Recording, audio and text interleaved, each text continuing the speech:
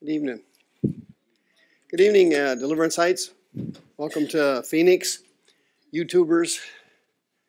Welcome to another interesting evening. you never know what's going to happen here. That's what church is supposed to be like. Did you know that? You're not supposed to be able to predict what happens at church. It's supposed to be like this. You never know what's going to happen. You don't know who's going to show up. You don't know what's going to go on. That's the best way to do it. All right, let's get going. Uh, it's already that time again. Uh, the seminar is next week? Next week, right? Seminar is next week, part two of how to minister and diagnose mentally ill Christians. They're all over the place. In case you weren't aware of that.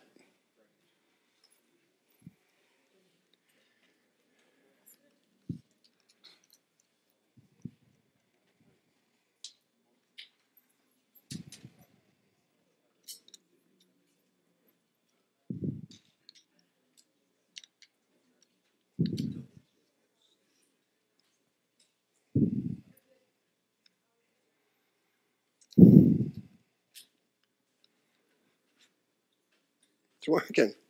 All right. See, when you got the touch, you handle this stuff. All right. Don't forget about our radio programs. We're on every morning and afternoon here in the Valley, Monday through Friday. And we're also on, on in the West Valley in the mornings and in the middle of the night, looking for insomniacs. All the radio programs are always on soundcloud.com slash hardcore Christianity, 24 hours a day, as you know. Uh, good search. If you switch over from Google to Good Search and put in our charity name, Hardcore Christianity, if you can figure it out, uh, they will donate to us every time you surf the web. Good Search isn't as quite as good as Google, but uh, thanks for helping us.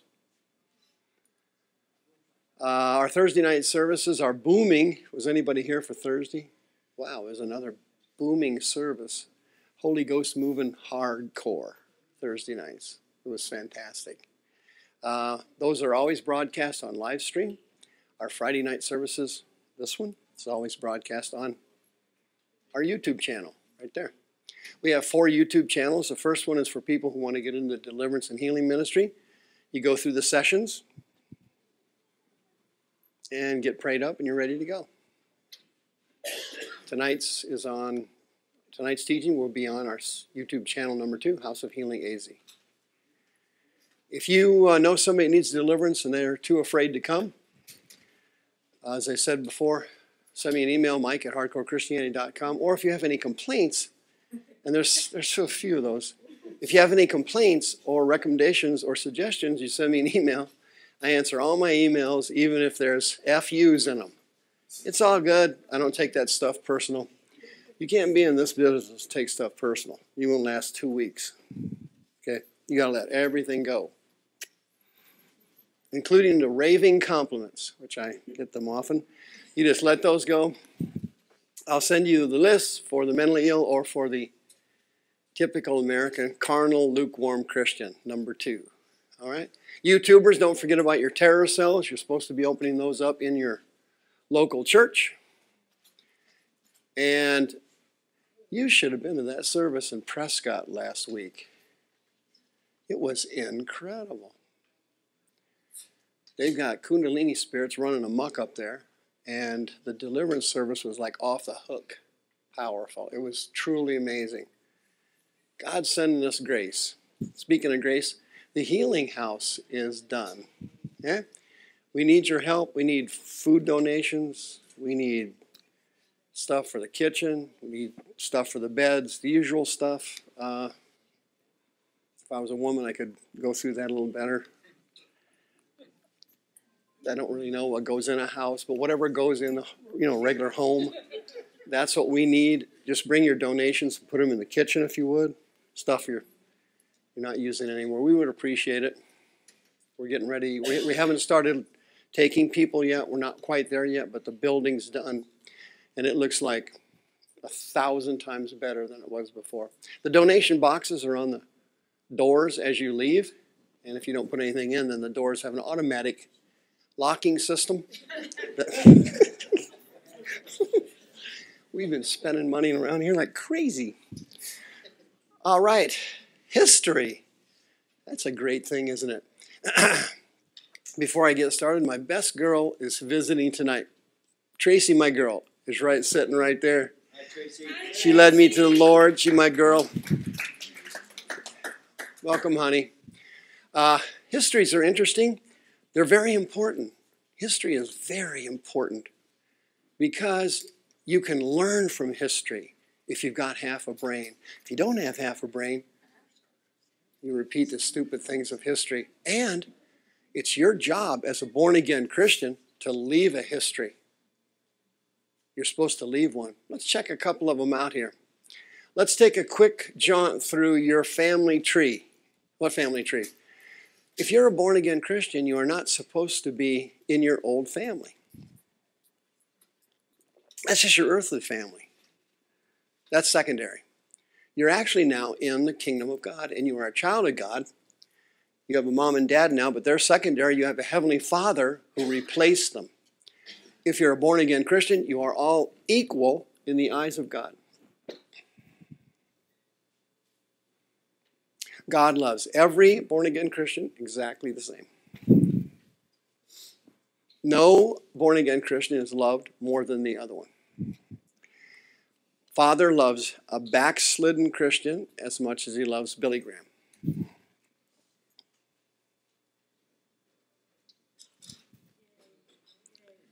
All right, we got dozens of backsliders here tonight. We'll work on that. We'll hit that in about an hour. now, you are not supposed to be in your regular family anymore. That's a temporary residence. You do not belong here. You do not reside here. That is not your identity anymore. You are now a born again child of God. You have a different family and a different future. So I'm going to go over your family tree today. Okay. I found it interesting. Uh, you may not. Now, in 4 BC, what happened then? Jesus and John were born, and King Herod died. What the heck does that mean? Uh, the Romans never had zeros in their calendars, there wasn't a zero. So uh, they found out that King Herod died in 4 BCE. Yeah? Jews use BCE. Why? Uh, they don't, they don't believe in Jesus. Okay, so that's before the common era, but we use BC. Yes, because we are. We're Christians. That's right. We're not Jews. We're Christians, right? We have been grafted in, Romans, into the family of God. So we use BC. So these dates are not exactly right. Jesus couldn't have been born technically 4 BC. But this is how they worked it out. So everybody goes with it. It is what it is. I don't care.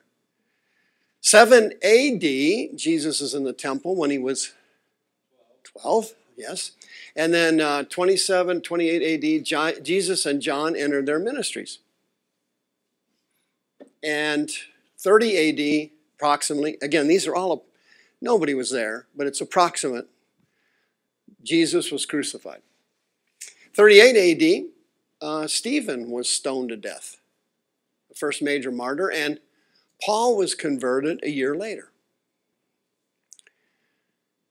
49 AD, they had the Council of Jer- Jerusalem, and that was the big one. There was a big dispute over Judaism and Christianity, how they mingled together. How much of this or do we keep in that? and they had a big dispute over it. Same dispute goes on today.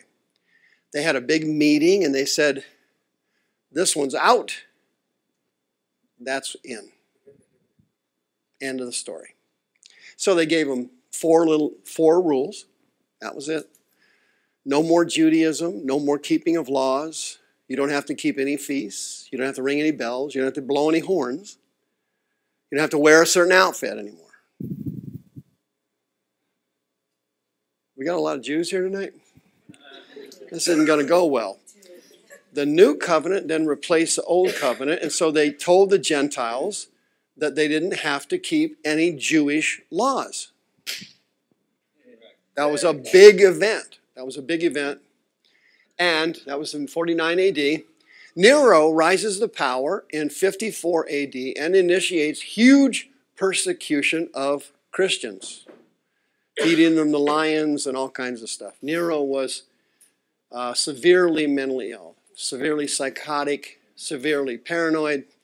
He was like in orbit. That's a technical term. 63 AD, what happened then? The Jews couldn't take it anymore. They said, We are out of here. We're sick of Romans. Sick of it. Sick of being slaves. We're going to revolt and we can beat them. Oops. 64 AD, Nero does what? Well, he pops a gasket and he burns down half of Rome. And then he blames it on the Christians. Yeah, have you ever been blamed for something you didn't do? Happens all the time. Just like Jesus. In 67 AD, the Roman general Titus starts his march. Josephus tries to talk the Jews out of it. Let's don't defect. We can't win. They say, We're not going to listen to you. Josephus then jumps ship. He jumps into the Romans. He get, ends up in Rome, safe and sound, living a luxurious existence. And thank God he did, because we have what? The writings of Josephus. Those things are fascinating. You have get a copy. Those are great reads, and some of the our Christian uh, people in the Bible are in some of his writings. It's really interesting. The Jewish wars are fa- fascinating. All that stuff's really great. Re- I recommend it. It's not divinely inspired by any stretch, but it is, wor- it, it is a good read. It's a worthy read. Very interesting material. And then in 68 AD, the Essenes are wiped out. Some people, some people believe John the Baptist was raised with them. 70 AD, yeah, Jerusalem burns to the ground. Titus finally wipes them out, and he cuts all the trees down in Jerusalem, and then he spreads salt everywhere to ruin the ground and wreck the chance for them to rebuild or regrow anything. It takes years and years to rehabilitate the land because of their revolt. And then, 73 AD, Masada falls. Took them three years to get up that mountain and into that fortress. When they got in there, what they find? Dead bodies from mass suicide. And the end, that end of the Jewish era crashed. Jesus predicted all that would happen. Matthew 23, 24, 25, Luke 21. He said it was all coming. He predicted it decades before it happened. It all happened exactly like he said. And then in 81 AD, another Roman Caesar starts viciously persecuting Christians. This goes on for decades. In 96 AD, your brother, the Apostle John, is on the Isle of Patmos and he writes the book of revelation before he dies. In 132 AD, the Jews can't take it anymore again, and they do what? Replay. History replaying itself. Josephus was long since dead, so he couldn't abandon ship. The Romans wipe them out again. The Jews are slaughtered again. Jerusalem is smashed again. Awful the persecution of Christian goes on for decades and decades and decades. But in 312 AD, what happens? Constantine, the emperor, is converted to Christianity. And he has an edict of Milan where Christians are no longer to be persecuted. And Christianity starts to Boom. booming. In 325 AD, the Council of Nicaea, they sort through all the books. Okay? They got together with all the Bible scholars. If you're bored right now, I'm going to get to the other interesting part later. I'm just setting something up here. Please don't turn on me here. Going through a little boredom stuff, then we're going to kill it. Over the years, there were hundreds of religious books written. In the same way, our society has uh, thousands of different kinds of magazines. And some of the magazines are considered more credible than others. Uh, if you, uh, some newspapers in the United States are considered credible, newsworthy publications. Okay, other other publications like the Globe are considered. Uh, I don't know. Are there really Martians? Do they like cheese? I mean, it's a debatable subject. Okay. In the fourth century, the exact same thing happened. You had these writings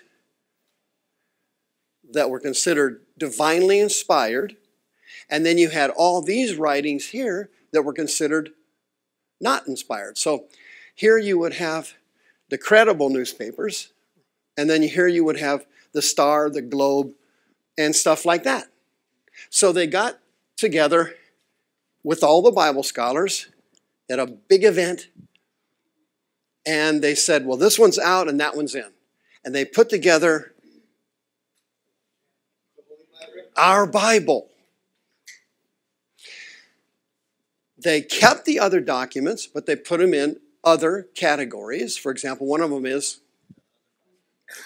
the Apocrypha, right? And during the Protestant Reformation, we'll get to that in a minute, the Apocrypha was tossed out the door. The other was kept. And that's what our Bible looks like. It's about that big if you get the big print one, you know, for the eyes. And some of them are about that big if your eyes are normal. This part was left out. Good. And then in 1054 AD, a bunch of people say, hey, this Roman Catholicism stuff is a bunch of crap. You got to be kidding. We're out the door. And what happens? The Orthodox Church rises to power. So there's a split between Catholicism and Orthodoxy. A lot of times I'll throw in sound effects to make this teaching more dramatic. so now we've got two giant religious monsters. Rawr. They've got their truths, they've got their truths. They've got their false beliefs, they got their false beliefs. These people like their false beliefs, they don't like their false beliefs. These people love their false beliefs, they don't like their false beliefs. So they're having a fight over their false beliefs. Good. Yeah, got that one in. I thought that was that went over well. Then later on, in the 14th century, a miracle happens. A superpowered, Holy Ghost filled man of God shakes up the planet Earth and he translates the Bible into English. English. Because Catholics, Orthodox, this is our Bible. And we will tell you what we want you to hear. Wycliffe, full with the Holy Ghost, said, That's a crock. God wants every person to have God's holy word. Can you imagine that? Whole world hated his guts. This guy was a super anointed Christian. And to this day, I'm standing here talking about God's word in part because of that incredible man. Then, in the 16th century, Martin Luther in the Roman Catholic Church, he's a priest, he's looking at all this stuff and he says, Hey, There's a bunch of crap in here. I did something odd for a priest. What was it? He read the Bible. The guy sneaks off and actually reads it. He comes back and says, What? You gots to be kidding. This guy had nerves of steel. This guy had courage of a pack of lion. I mean, this guy was hardcore powerful. Walked up to the church door and bang. 1525, another guy, and it cost him his life, did the same thing. What did he do? Translated the Bible from the original languages, not out of Latin like Wycliffe. He sent it in. Here it is. Here's God's Word. Here's the best Greek manuscripts we've got. Here's the best Hebrew man. He translated it so that you and I could have a Bible. Unbelievable. He's praying for them as they're burning him alive at the stake. Hey, listen up, saints. Here in America, we got a bunch of lukewarm, Mickey Mouse, gutless, useless Christians. Not everybody is like that. These guys, hardcore great.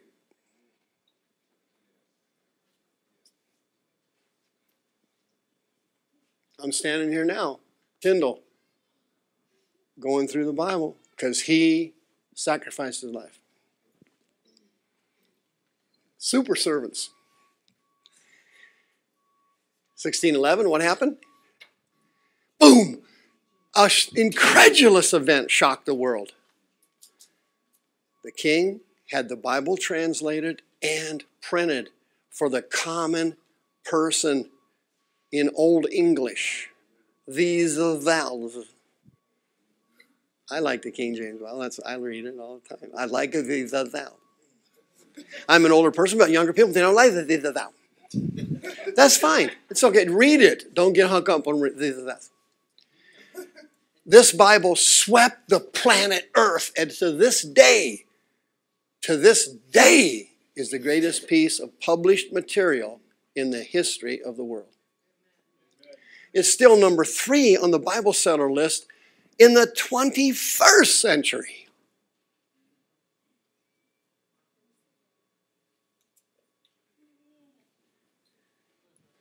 I see I find that more interesting than some of you. Lord, I'm dying here. 1734 AD, oh, the Holy Ghost says, hey, it's now time for me to make my move. And suddenly, the Holy Spirit starts to move through England and America, and the Great Awakening occurs, and some super preachers rise out of the ashes. Edwards, Whitefield, a whole bunch of others. Same thing happens again. 1733, the great John Wesley forms the Methodist Church. Okay? That church has nothing in common with this one, Methodist. Nothing at all. When you hear Methodist and him, totally different church. John Wesley would peel his skin off if he came back and saw the Methodist church now. It's just completely been overrun by the devil. This guy was a hardcore Pentecostal, Holy Ghost man of God. He was a nasty preacher with a gasping anointing. Next, the second great awakening occurs in 1800. Same thing. A bunch of hardcore preachers take off with the anointing, sweeping England and America, just killing it, sacrificing their lives. George Finney was a multimillionaire. He was a lawyer and had a dramatic conversion, left everything behind to go preach the gospel. People would flood the altar, hundreds of people, falling down, crying, begging God to forgive them. Staggering preaching anointing. This guy was a nasty, filthy Holy Ghost preacher. The demons hated his guts. See, most Christians in America, the demons are fine with them. When the devil hates your guts, you know you're doing something right. 1854, the Catholics decide, hey, we're not getting enough attention now. We got to come up with some more di- divine insanity. They start cook, they start ramping up the insanity, and now Mary's conceived in no sin, and the Pope is infallible. All right, that's nice. The Holy Ghost takes his shot at it again. In America, in 1901, in a Bible college, small one in Topeka, Kansas, the Holy Ghost falls, and the students all start speaking in tongues, giving birth to Pentecostalism in the United States, Eric.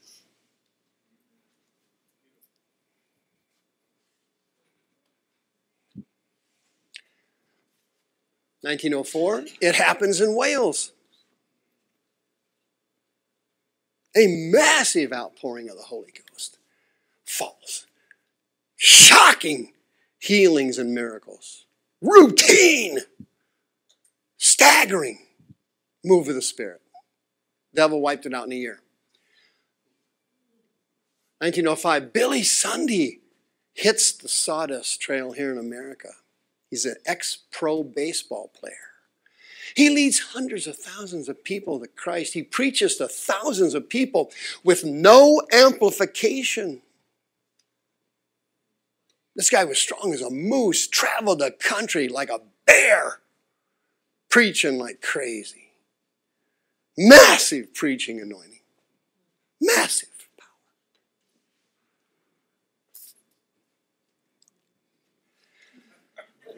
1906. a half blind African American goes to California and starts the Azusa Street Revival. The whole planet ends up over there. Unbelievable outpouring of the Holy Ghost. People two and three blocks away falling in the street before they got to the building. Devil wiped it out in about a year. Incredible move of the Spirit. Shocking.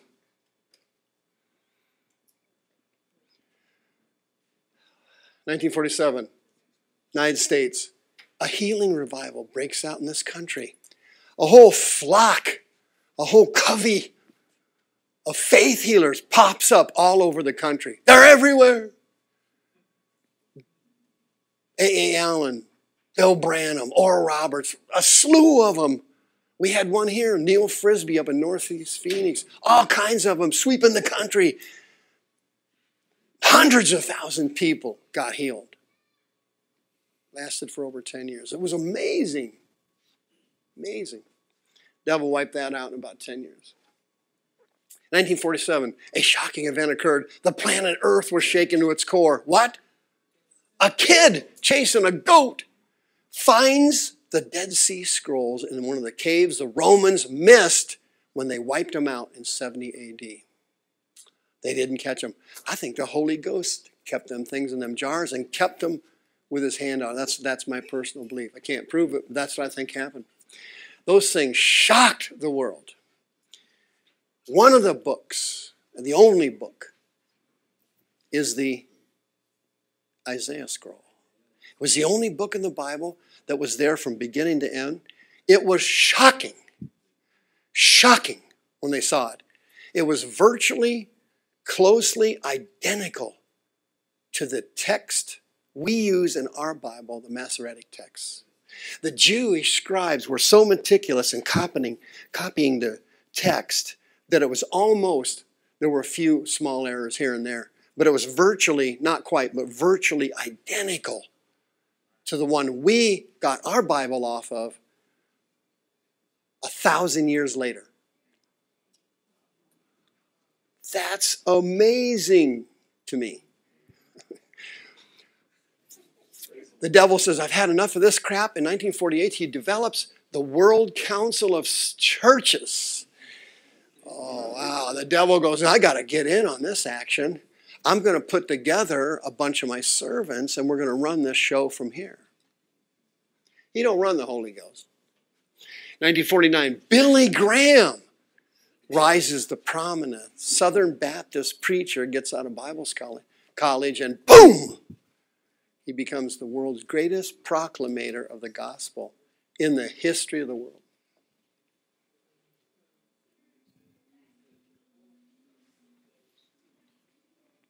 Okay? In the 1970s, what did we come up with then? Yes, charismatic Catholics. The Catholics start speaking in tongues.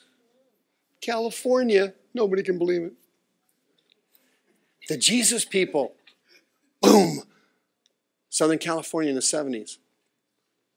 Thousands, hundreds of thousands, all kinds of people saved.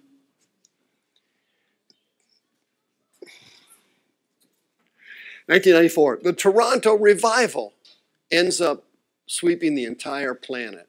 The Holy Spirit falls on an airport in Toronto, Canada, and then superpowered Kundalini spirits follow in after him and fight the revival tooth and nail.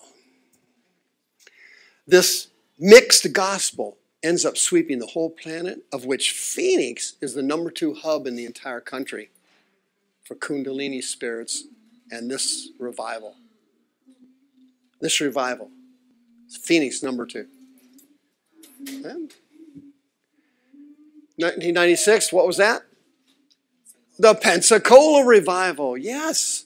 This thing went on for five or six years. Powerful revival, different from Toronto because they had a preacher there named Hill, and he was a hardcore repentance preacher. The Toronto revival was basically themed let's party with Jesus. Let's have fun partying with Jesus. The Pensacola revival had a hard repentance message, and they were recruiting souls first before they went into the moving of the Spirit.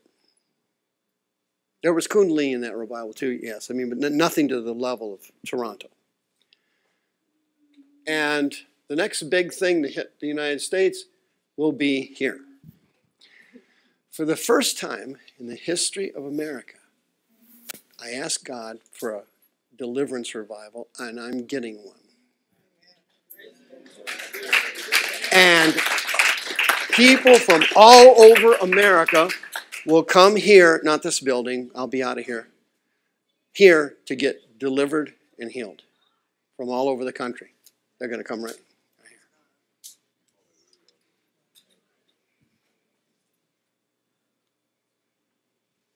Let's go to your future. At some point in time, which I don't have the date, and I'm working on it. the rapture of the church will take place.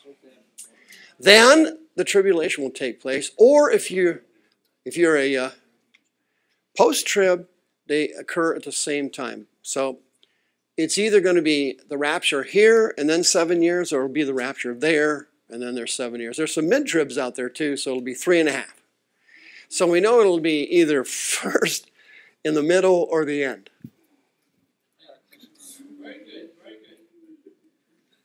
Got out of that, didn't I?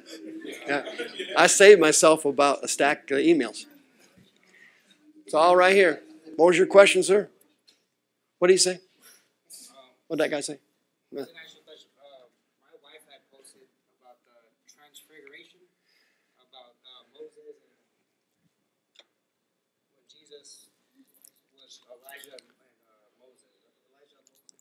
What about him? I said that when he comes and takes everyone, uh, he was saying that since Moses was the first one, and then Elijah was the second. That, Moses was the first one. What? uh, being taken, that was that death, that had death. That had died? Yeah, that had died, and he was taken.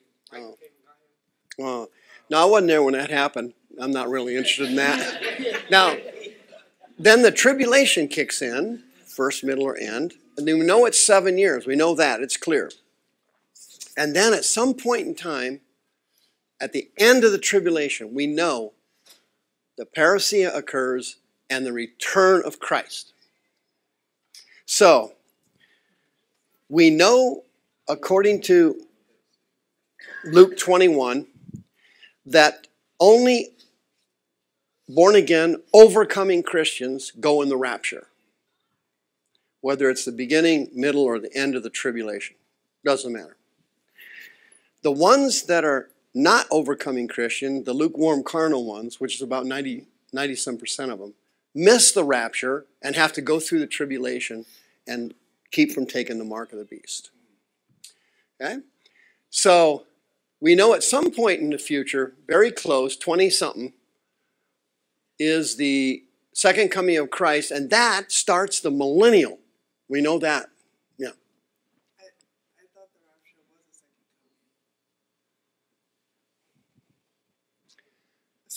second Karina, can you take Katie in back? Now,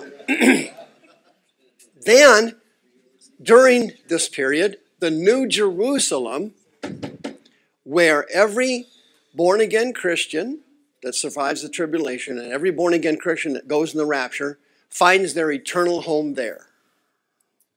That's where you live. Okay? You don't live in heaven. That heaven is a temporary residence. If you were to die right now, you go to heaven, but that's only a temporary residence. Your permanent residence is the New Jerusalem. In 30 something date, the millennium ends. Okay? And there is a final rebellion of Satan. There is judgment day where everything is thrown in the lake of fire. Hell's thrown in there. The fallen angels, the demons, the sinners, everybody is thrown in to the lake of, that burns with fire and brimstone. And then we know, uh, don't know what the date is, it's 3,000 something. The earth is renovated, and so is heaven. We get a new heaven, a new earth, and eternity then begins and never ends. And on the planet Earth, the planet Earth is restored to Eden conditions. We, overcoming born again Christians, rule the planet Earth for Christ, who reigns from his throne in Jerusalem. The nation of Israel is reestablished in Jerusalem. King David is given his throne back as the king of Israel. And we go through eternity, and human beings are processed thereafter on the earth. And you, if you're an overcoming Christian, you help manage the planet Earth into eternity. And you're given specific jobs and duties depending on what you do here. If you're a certified screw up here, you don't get any rewards there.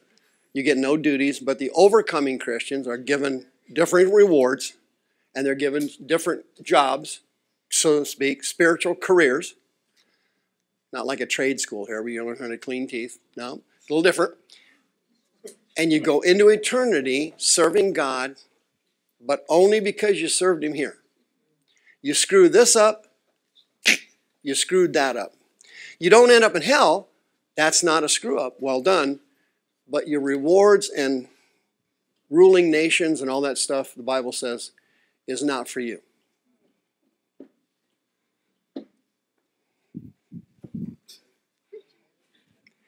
How'd that go? What, you, sir? You got a question? Yes. Ah. She has a question. Oh, okay, sweet. I'm really curious. Um, you say you're saying an overcoming Christian. Uh huh. Okay, I'm striving to be not a sinner. Uh, not after tonight. You're not striving anymore. You're going to get delivered tonight. What's your question, ma'am? Oh, nothing. I was Oh, my hand. What's your question? What I want to know is what does that mean? What you're saying about the twenty percent? What is that called? That what kind of Christian is that called? Oh, I just named it myself. I called them lukewarm carnal Christians, but they've That's they've been called other. 98% or that, that's my estimate. Yeah, ninety-eight percent are about like that. Yeah, particularly here in America, they're just useless here. We're trying to turn that around here, but as you can see, it's we're not booming yet. All right, that was the history of your family tree. Okay, YouTubers, I gave you your history. That's your family tree. That's your family tree. Did you notice something funny about that family tree? Did you notice something funny about it? Many times the Holy Ghost only found one person to use. And that one person shook up the world. The Holy Ghost and one person makes a majority. One person decided to translate that Bible. One person and the Holy Ghost can't be stopped. Did you notice some of them people? They were nothings and nobodies, particularly them faith healers. A.A. Allen, Bill Branham, Sister Etter, Kathryn Kuhlman. No, no, nothing and nobodies. Grew up with nothing. Broke, impoverished, no education, no, no royalty, nothing. One person. And the Holy Ghost makes a majority. See, the Holy Ghost don't vote.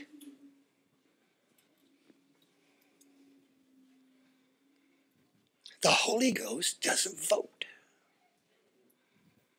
People vote. He don't vote on anything. Nothing. He's the boss.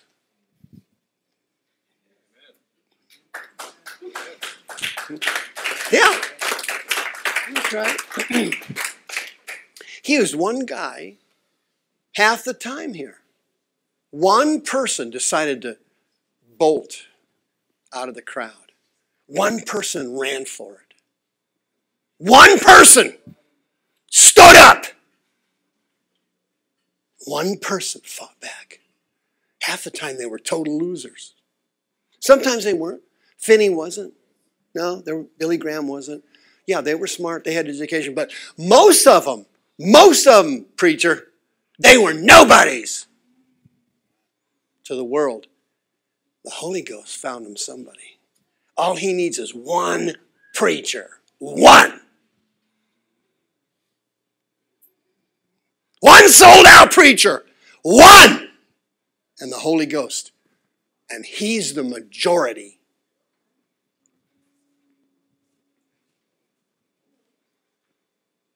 Hey, check this out. See that church right there? Castle Church? Bang! Luther stuck that thesis up there.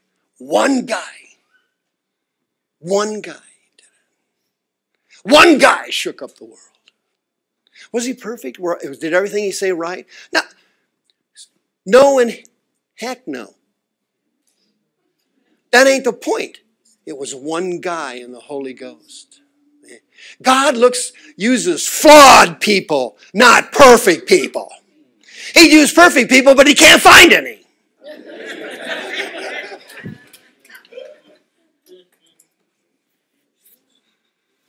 I had a sucker, I mean, a person comes to see me one time.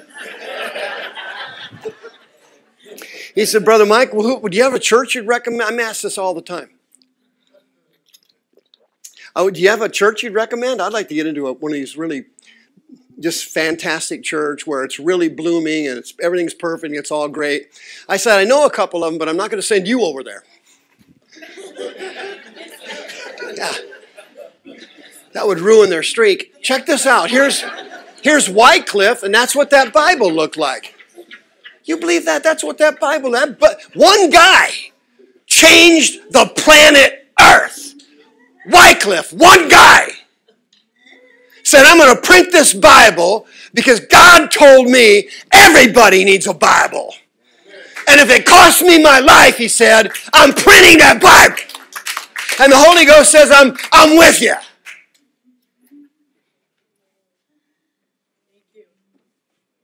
There it is. I ain't making this up. Now that's the church Luther was at. Now that's a new door, obviously. I mean, there's been some renovation, but thought I would point it out. There's Billy Sunday standing on a podium, no amplification, preaching to thousands of people under the powerful anointing of the Holy Ghost. Billy Sunday was a monster preacher. Hey, you're not going to quit your. What about baseball? the baseball. I got the Holy Ghost now. I'm going to be a preacher. One guy turned America upside. One guy, the Holy Ghost, and one person, no matter who they are, is the majority. There it is. There's the Bible school in 1901 where the Holy Ghost found the students started speaking in tongues. That's where Pentecostalism started in the United States. It's gone hog wild. Now, back then, it was a lot different than it is now. They didn't have a bunch of people rolling around like nuts, laughing like kooks. That didn't happen back then. That's all carnal stuff now. There it is. That's the school right there. Bill Parham was the guy's name, I think his name. There's that guy from this guy here in Azusa. There, there's Seymour, that black blind preacher. One of his eyes was blind. Did you know that Seymour didn't even speak in tongues? That'll jack your theology up. Do you know that? He didn't speak in tongues. And there was a miracle. They didn't even, they saw all the miracles. See that guy? That's Charles Finney. If I just looked at that guy, I'd repent. Look at that face. I'm telling you right now, if that guy come in the deliverance center, there'd be people repenting from blocks away, falling out of their cars, begging for mercy. Look at him. Time to repent. God. Look at that. Unbelievable. The Dead Sea Scrolls. There's a famous copper scroll. That was here about 15 years ago. Did you see it when they toured? Toured, I saw that copper scroll. The the Isaiah uh, scroll wasn't scroll wasn't in this that trip. I never got to see that. That's what I really wanted to see. But a lot of it was really interesting. Dude, did you happen to notice this? That these incredible moves of God were only started by one or two or just a couple people or, or just sometimes one person, Eric? One person? Powerful ain't the word for it, preacher. Powerful's incredible. That's putting it mildly. One person shook up the whole country? You gotta be kidding me. No, one person in the Holy Ghost, you're in the majority. He don't vote.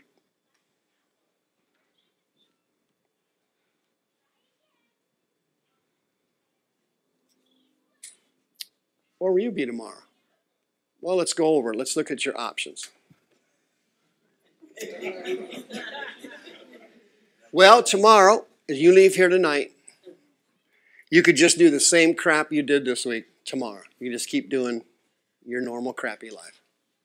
Number two, if you die tonight or tomorrow, you could be in hell. Or you could be in heaven, depending on if you're born again or not. Believing in Jesus ain't good enough.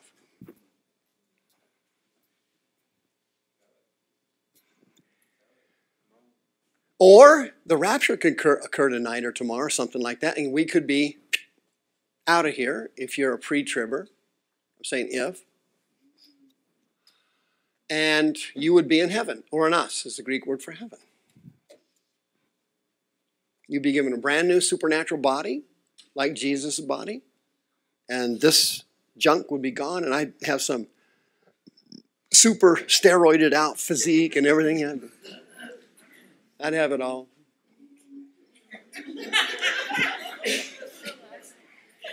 I don't have it now. Or four, if you're a carnal Christian or a spiritual loser, you'd miss the rapture and have to go through the tribulation and hope you can make it or be martyred. If you're martyred, you end up in the throne room of God, the Bible says, at the throne, because they saw the martyrs there. John did. If you're not martyred and you take the mark, you're dead, you go to hell. That's the end of you. That's another option for you. Number five, number five option would be what? Yeah, you could be martyred. Ra- rapture could occur. You could have missed it. You could say, hey, I missed the rapture, but I'm not going to miss heaven. I'm not taking that mark. I'm not, I'm not going to do it. I'm not, I'm not going to become an idolater. I mean, I don't think anybody's going to do that. If you can't serve God now with no, no persecution, how are you going to serve Him then with persecution? I mean, that's going to, I don't see that happening. But let's say some freak Christian pops up somewhere and says, I'm not taking that mark. I blew it during my life, but I'm not going to blow it now. I'm dying. And they, let's say they do it. Well, then they would go to the heavenly throne, right? Option six You could die of one of the plagues in tribulation, during the tribulation. There's all kinds of plagues, there's all kinds of dying and everything. It's awful. I don't want to go through that now. Or you could make it through the tribulation alive. What happens to you? You would enter the millennium as a regular, as a human being. If you don't get killed, you don't get martyred, you happen to make it through. I'm assuming there's a lot of people because there's all kinds of people there, the Bible says. So they got to have made it. Not everybody dies during the tribulation.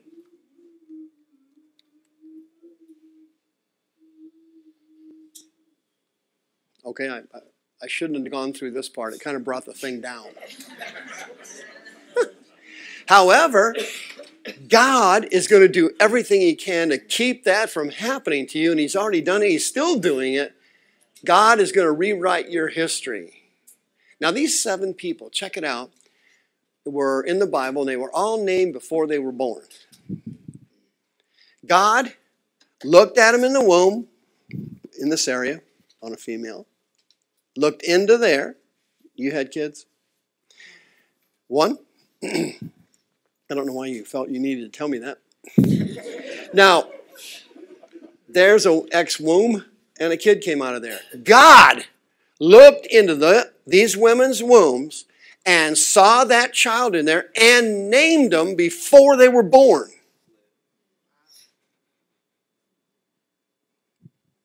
The most famous would be the obvious Yahshua. Matt, Matthew chapter 1. These seven people. But check this out. That's a short list, an incredibly short list of the human beings God looked at in the womb. No, no womb there. There's one. Looking for wombs here. There's one. God looked in there and saw a person there before they were born.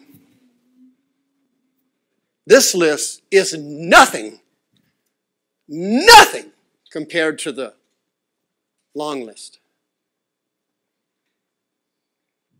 I'll prove it to you. Ephesians chapter 1.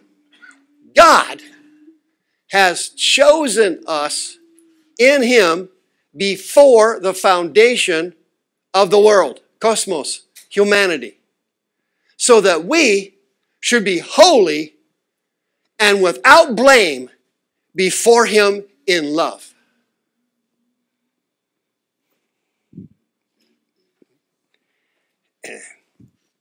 You, what's your name?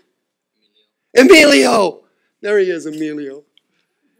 God looked at him before he was born and said to him, I want you, Emilio, and I want you to be holy, and I want you to be without blame and stand before me in agape, unconditional love. That guy right there. We'll handle that later. Don't worry about that. That's them trying to disrupt it. Before you were born. Let me tell you something. You got to be an important person for God to look at you before you're born. You got to be an important person.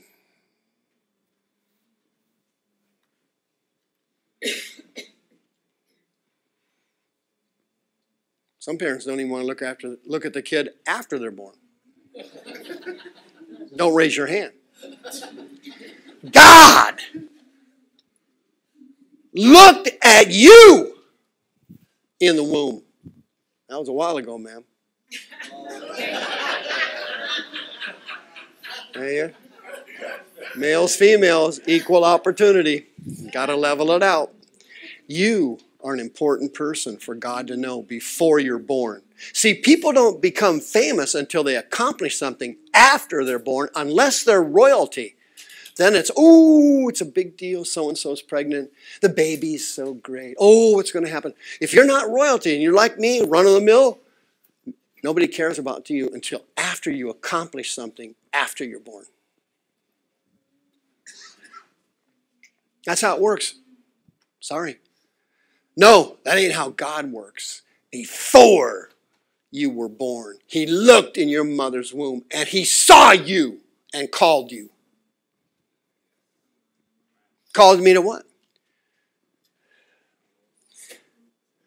Hey, you know what without blame means? It's not your fault. When you get washed in the blood, it's not your fault anymore. You sucked as a parent, did you? Not anymore. It's not your fault anymore. That went to Calvary. You, you stunk as a husband, did you? You were rotten, you hurt. Not anymore. When you came to Christ, the blood washed you, and you are no longer to blame. There's no reason to be angry anymore, is there? You know what that means without blame? You're not at fault.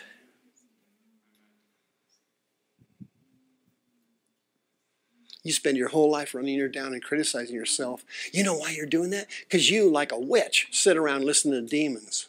None of that came from God. He told you you're not at fault. It's right there. You think I'm making this stuff up? Most of the stuff I don't make up. God called you to be holy. You, you got a porn, you got this and that. What are you doing? You were seen before you were born. You're not supposed to be living like that. You were called to be holy in the eyes of God. You are not at fault anymore. You are innocent. Yeah, see it? Chosen. You were chosen by your mom or dad? you got to be kidding me. I was an oops baby. Anybody know what an oops is? Yeah. Uh-huh. That's when a male meets a female at the bar. Ooh, having a couple of drinks, huh? Oh, you have had a lot of drinks? Oh, you both looking real good to each other after a lot of drinks. After one drink, mm, kind of iffy. I don't know. Six, seven drinks. Ooh, he's packing. Oh, she looked fine after six or seven drinks. My mom and dad got together after a trip to the bar, Eric. Huh? Yeah, and guess who popped up?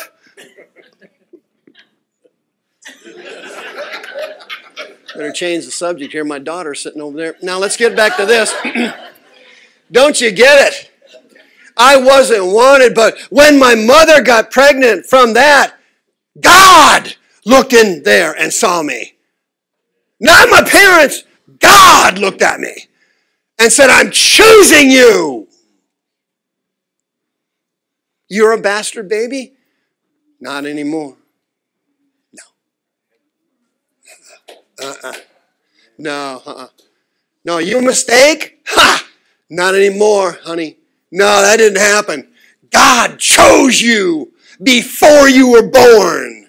You can cut the pity party tonight.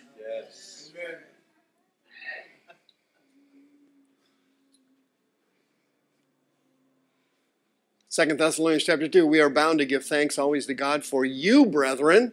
Who's he talking to? a bunch of stinking Thessalonians. I got news for you. Thessalonians ain't any better than Phoenicians. They're all the same. Sinners! All of them! Wait a minute here. I thank God for you, you Thessalonians, beloved of the Lord. Agapao is the Greek word there. That's the same word God used to describe Jesus. This is my son, the beloved.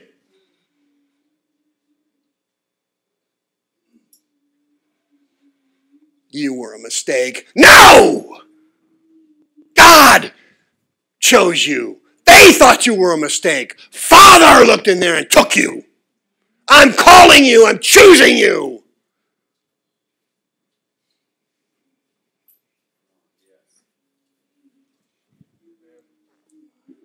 You are my beloved. This is my beloved son, Emilio. What? What did I just say? Oh, that's that's an apostate teaching. Is it really? If God calls him the same thing he did Jesus, what am I supposed to think about that? Let me think about that for a minute. Hmm. Oh, they're the same. They're loved the same. Agape is unconditional love. You are loved as much as Jesus Christ by Father. You can cut your pity party. You can get rid of them rejection demons tonight. Yeah, you have my, you have my invitation to do that. Why? Because God has from the beginning chosen you. Jesus was chosen before he was born. Hail, Mother Mary, full of grace, the Lord is with thee. Blessed art thou among women. Behold, thou shalt conceive, and thou shalt conceive in thy womb the power of the Holy Ghost. How's that going to happen to me? The Holy Ghost shall come upon thee. The power of the highest shall overshadow thee. That thing which shall be born of thee is from the Son of God. This is my son, the beloved. That same person has the same name as Emilio sitting over there. Eric, see that guy? From the beginning, you were chosen to do what? Be saved. Salvation. Through what? Agismos. Purification of the Holy Ghost. And when you got washed in the blood, you stand before God purified, chosen, accepted, perfect, sinless.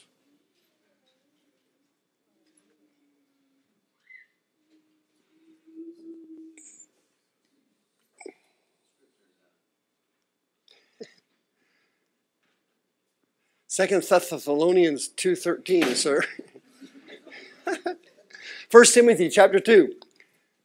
Who, talking about God, will have all men be saved. Thelo, I want. God who wants to have all men be saved and come to the knowledge of the truth. There is only one God and one mediator between God and men, Jesus Christ the Lord.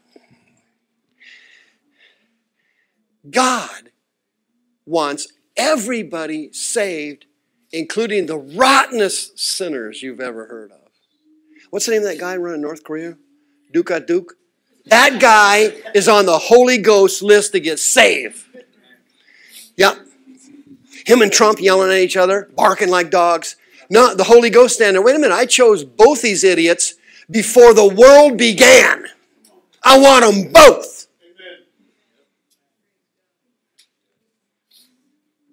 Oh, that's impossible.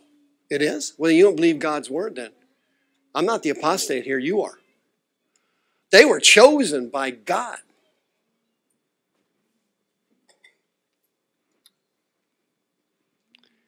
For example, 2 Peter chapter 3, the Lord is not slack concerning his promise, as some men, but he is long suffering. What's that mean? Patience, hupomone, it's patient endurance.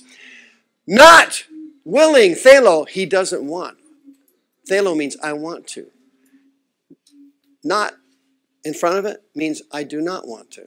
I do not want anyone to perish, including your crazy relatives.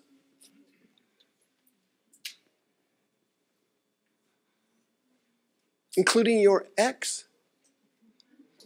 Yeah. yeah, remember them? Oh, I know you do. Yeah. Oh, they.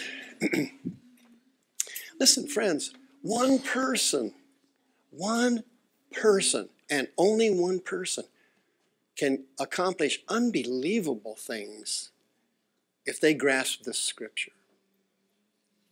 You know something? Even in a small ministry like this one, we've had thousands of people delivered from demons at the House of Healing and now here at the Deliverance Center over the years. We've had hundreds of people healed, literally. Did you know this whole thing was all started by one person? That girl sitting in that wheelchair right there started the whole cotton picking thing. One person. Okay? Now, I'm not saying this is a big ministry. This isn't, but there's been a lot of people helped here and one 16 year old disabled person started the tipping point. Don't you see it? Can't you see it? Man, you have enormous value. You know why you aren't a mountain to a hill of beans? You don't understand who you are. God looked at you and chose you before you were born, just like He did Jesus.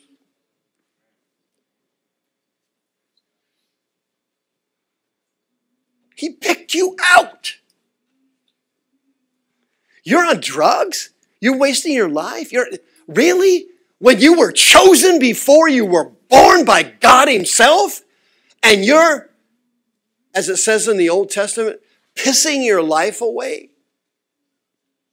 You were chosen by God and you're wasting your life like this? No! It stops tonight.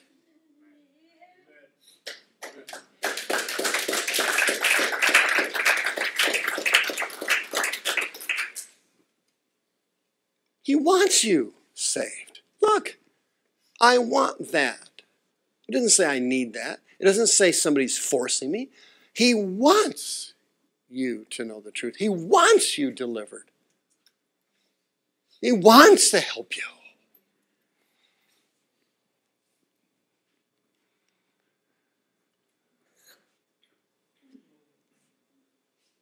Revelation 22 the Spirit and the bride say, Come. Let him that hears. Wow. Let, let him that's thirsty. The people that aren't those things don't do what? They don't come. Yeah, this is deep theology, folks. Whosoever Thelo wants to, let them come and take the water of life freely. What's the key? It's your free will. You can choose to believe the truth about you. If you leave here tonight and think you're just Emilio, well, you know, I must have done, maybe I did something screwed up and didn't get through to the guy. Maybe he wasn't, something went wrong.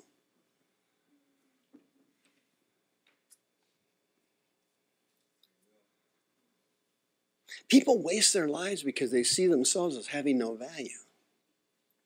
That's why they waste their lives. Addicts don't like themselves, so they waste their lives. Yeah. 30 years later, they got nothing. No friends, no family, no money. Everything gone. Why? They wasted their lives. They saw themselves as nothing. God. What? God chose you before you were born. He knew you before you were born. He called you to be holy and blameless in His sight, in love. Greek word agape, unconditional love. What does unconditional love mean? It means there's no conditions on it. Bible scholar. Something that's unconditional means there's no conditions on it. That means whether you're good or bad, beautiful or ugly, it don't matter. There's no conditions on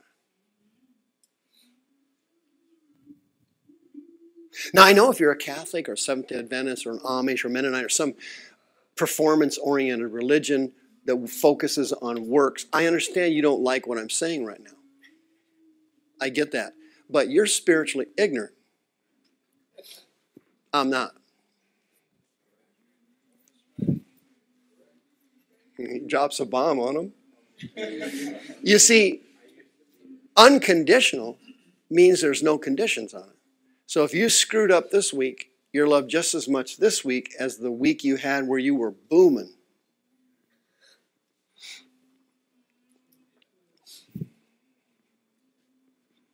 Because you were chosen before you were born. Now, how do you explain the gospel to people? Well, there's a certain way to share the gospel. There's, and then there's a certain way to not share it. When you shove the gospel down somebody's throat or push it on them or try to force them to receive it,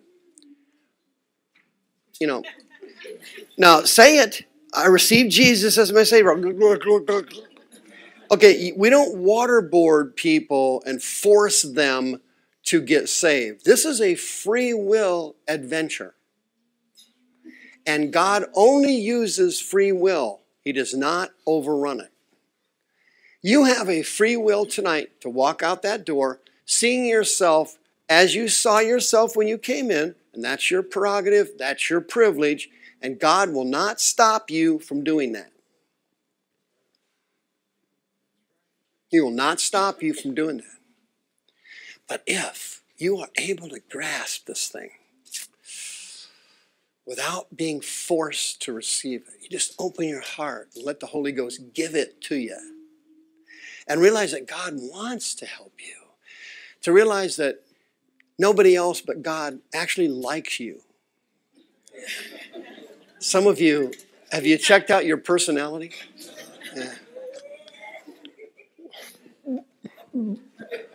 God, some of you, no offense, but man, I like you because I got the patience of Job.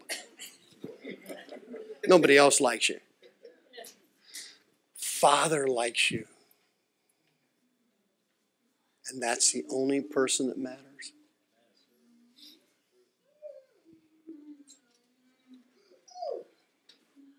Now, see, when you come to the water to drink freely, the devil sometimes will try to stop you or make it hard on you. Now, this little girl here can't get a drink, but she has to get up on her tippy toes to get a drink. And sometimes you're going to have to press your way in with more adversity than that. And that's where the rubber hits the road here in America. The gutless, carnal, loser Christians they don't see themselves as chosen by God. They don't see themselves as blameless. They don't see that. They still listen to demons tell them, you're at fault and you screwed up and here's your regrets and here's your failures. Why don't you keep all that? When Father has no interest in you keeping all that, He doesn't focus on any of that. As long as you keep thinking you're this person down here, struggling, a loser, failure, bad family, bad family history, no money. I can't do this, I can't do that. As long as you keep listening to demons tell you that, you will never grasp the truth about you as a person. You'll never grasp it.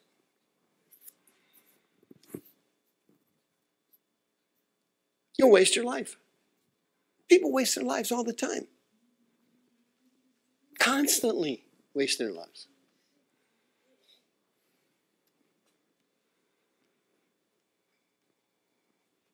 John 3. Now, here's a verse that was recently discovered that nobody's heard. It says, God so loved the cosmos, human world, humanity, that he gave his monogenes, one and only child, a son, that whosoever pisteuo believes by stepping out on their faith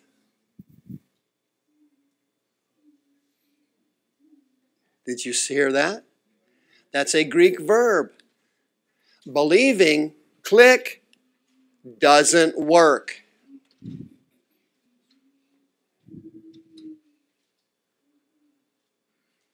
You go to the Lutheran church on, on uh, Sunday morning, what do you find? You get your uh, program handed to you. Remember that? And there's a prayer in that program. You ever been to a Lutheran church? You haven't? You backslider. you go to the Lutheran church and you get your program. And you read your little prayer out of your program. The demons tell you, you're killing it. That is, that is great. Wow, you're knocking it dead. You go to Orthodox church. Ooh, I want one of those cone heads. I'm nailing this thing. Wow. Ooh. Total deception. Pisteuo. You must step out on your what you believe. It's active faith. It's stepping out faith. It's action faith. Pisteuo. Believe. See? It's not believing, click. That isn't good enough. A re- I did a, a radio show on on uh, a a Barna poll that came out, and Can't remember the, but there was a huge percent of Americans who consider themselves Christians in that poll, literally. Imagine that. Virtually none of them were Christians, but they checked the Christian box. Why? No pisteuo.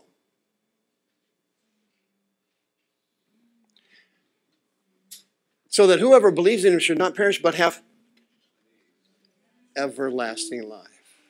For God did not send his son into cosmos world to krino judge the humans, but that the world, cosmos, human world, might be sozo delivered. Oh man. God looked in that womb and saw you before you were born. He said, I want this one for me. I want that one to be holy. I want that one to be saved. I want that one to be blameless. I want to love that person unconditionally. And I'm not going to judge him. I don't want to judge him. And Jesus said, You don't have to judge him, Father. I'll take the judgment for her.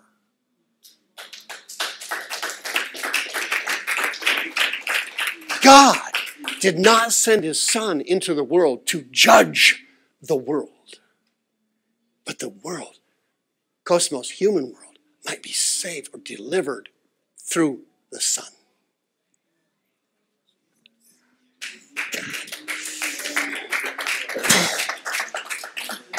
This thing's killing it. He that pisteuo steps out, active faith, not intellectual faith, not good enough. He that believes on the Son is not judged. See, you got a critical spirit, so you think you're a fruit inspector. You're actually deceived. You live in a world of delusions. There's no there's nobody to inspect. You just got a critical spirit, nitpicking people. You got it probably from your mom or your dad. God does not have a nitpick spirit. He don't have any spirits. He does not nitpick people. You know what would happen if he said, I do? Rick, where's Rick at? Here's a guy here we got to take in the back. Peter, watch this guy. God does not judge people.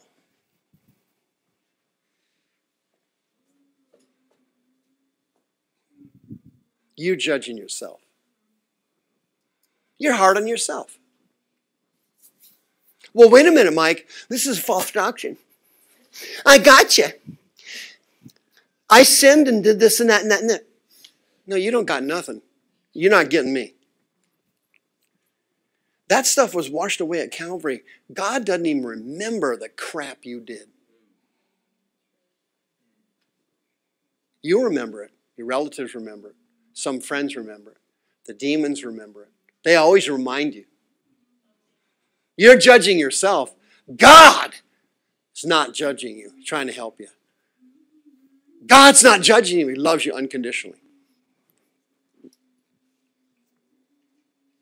He wants to help you. Guess what happens if you reject all this? You're judged already. Is judged. You're already judged. When you said no in this life, you're judged. And when you said no, the demons said, We say yes, we want him.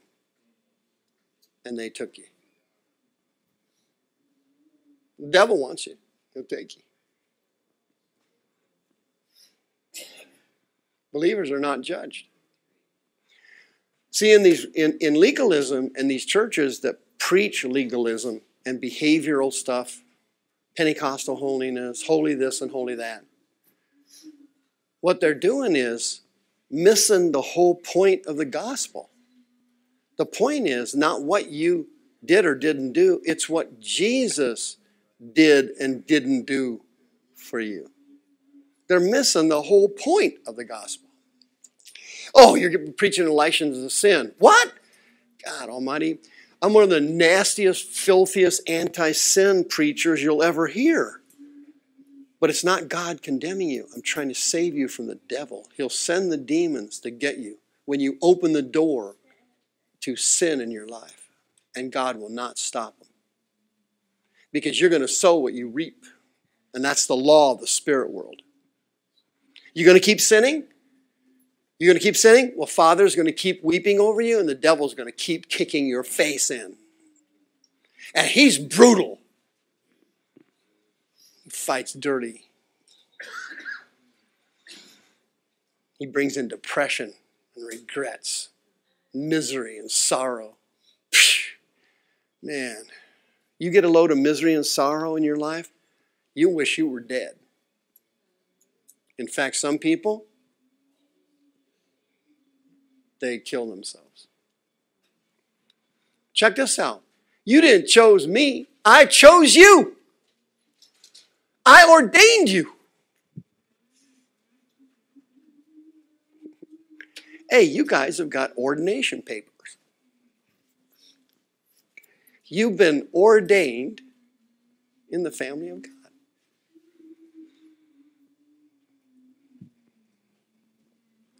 What's your ordination papers? It's the fruit of the Spirit. That's how you tell if somebody's ordained. If you got a certificate from a Bible scholar, that means nothing. That means you studied a bunch of stuff and you got a, you took a test and passed it, and then they gave you the certificate. It's got nothing to do with the gospel.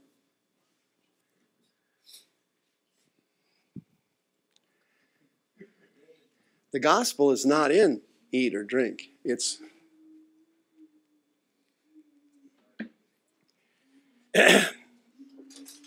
Check this out. Since you are ordained, look at that. You've been ordained to bring forth fruit. Is that physical fruit? No. Anybody can feed the homeless. Muslims do it, Catholics do it, uh, atheists do it. Okay? Unbelievers do it. That's got nothing. This is spiritual fruit. This is spiritual fruit. The hurricanes, a lot of good people are running down there to help those people, and that's great, and I hope they keep doing it. That's got nothing to do with their spirits. That could be coming out of their soul. Sympathy and pity comes out of your soul where your emotions are. The fruit of the Spirit comes out of your spirit, man. That's a reflection of Him.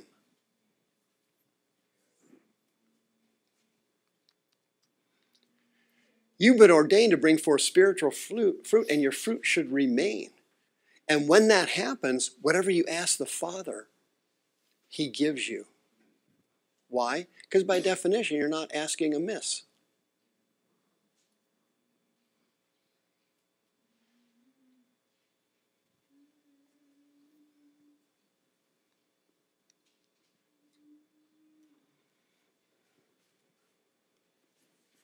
John 15. If you were of cosmos, if you were the of the human world, the world would love you because you are not of this world.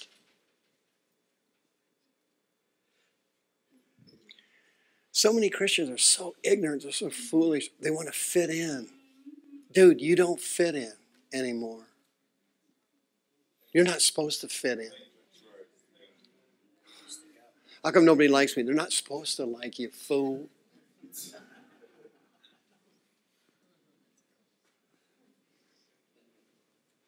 When I was living in sin, I had all kinds of superficial friends. I had a bunch of guys I went to happy hour with, business associates, different people. They weren't real friends. Most people don't even have any friends. Did you know that? Most people do not have any friends. I'm not joking. That includes Christians. What's a friend? When you're in trouble and you need you really need help, then your friend scope drops rapidly. God said, I chose you out of the world. You're not supposed to act like sinners. You're not supposed to live a carnal Christian life. You don't belong in there. You were seen before you were born. You were chosen by God to be holy and without blame before Him in love. You don't belong out there. You're a special person chosen by God.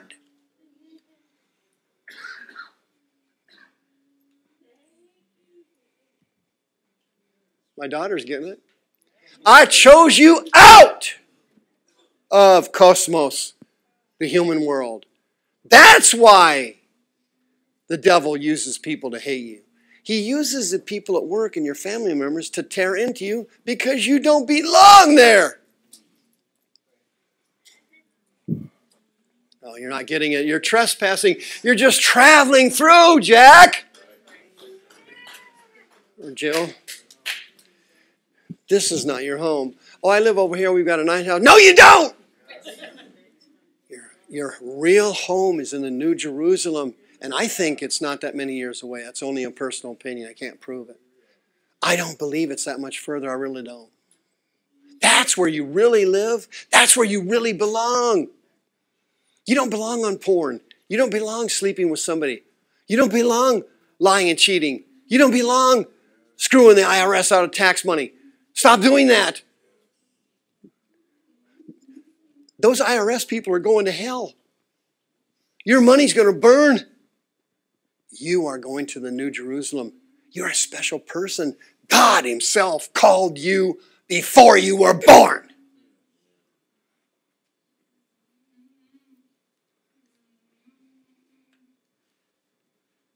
He's getting it too. Uh huh. Hey, check it out. As you grow up, you reach trauma points in your life. Every human being reaches a trauma point in their lives. Big ones. All of them do. Guess which one's huge? PE. If you want somebody scared literally half to death, you get into high school and you got PE class. I'm talking real fear here. In PE class, the good athletes are usually chosen as captains. You're not leaving, are you? Ma'am, you're not leaving her. Are you leaving? You're not going to leave, are you? Uh, no, you can just stay right there. I've got, I've already got that taken care of. You can stay right there. Don't take that. Don't leave. The worst thing that ever happened to you is go to high school. A and B, PE. When you're on PE, they choose teams.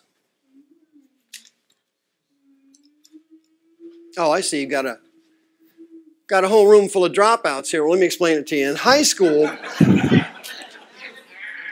when you have sports, basketball, whatever the sport happens to be, and they rotate sports in PE class,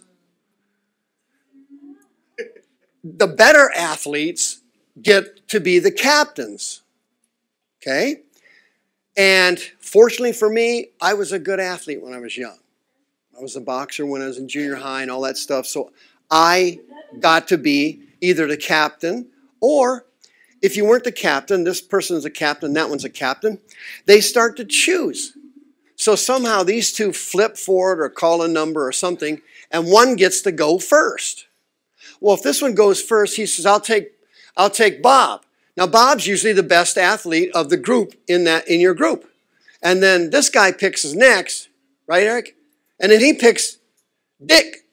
Well, Dick's usually the second best athlete or thereabouts, generally speaking. It doesn't always go like this, but and then they pick down, and then the nightmare on Elm Street hits you. The last guy. And the and the rejection and the pain. I'm not even making this up. This is a very traumatic event to be chosen last in a PE class. I'm not joking. And, and the kid that's going to be chosen last usually knows it. and he's cringing. He hit, and normally he stands this way. Head down. Oh, God. And as it goes down the list, it gets the, he sink the person sinks lower. And then, all right, Larry, come in. God, we get stuck with Larry. Oh, well, at least we got an excuse when we lose. That person is never forgets that. I'm not even joking. It cuts into your soul. It just like a knife. And once you get a cut on your soul, it never goes away.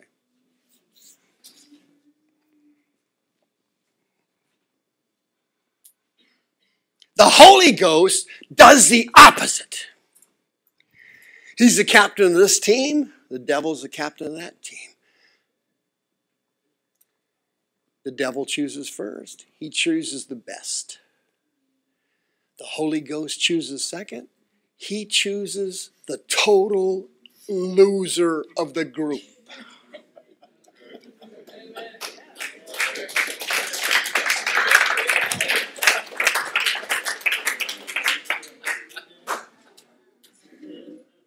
The devil chooses again. Holy Ghost chooses the second worst goof in the group. When they're done choosing, the devil's got all the better players. The Holy Ghost has all the crappy players. He chose them. 1 Corinthians chapter 1. If you would have been chosen in PE class last, God now chooses you first.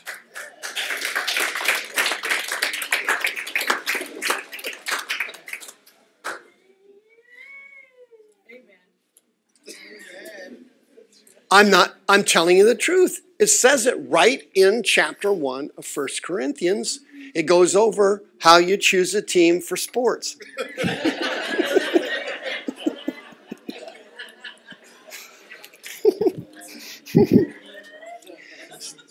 Stop making stuff up.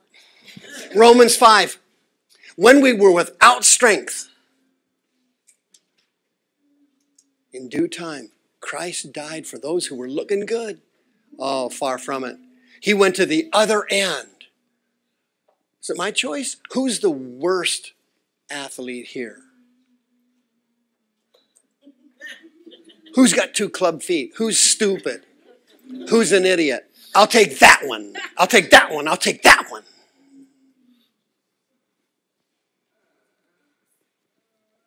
Can you come to God and be smart? Hey, Charles Finney, brilliant.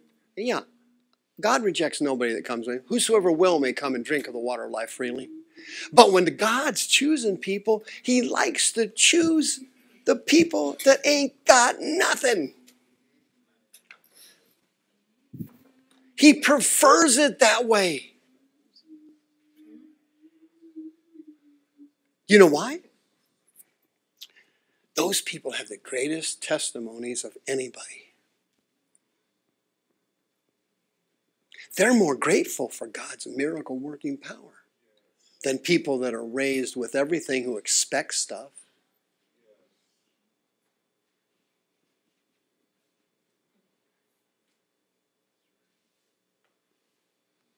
The Holy Ghost specializes in losers.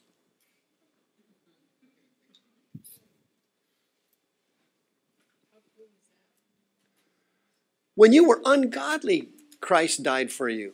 Then Paul says, hey, scarcely will somebody die for this man, a good man maybe, whatever. But check this out.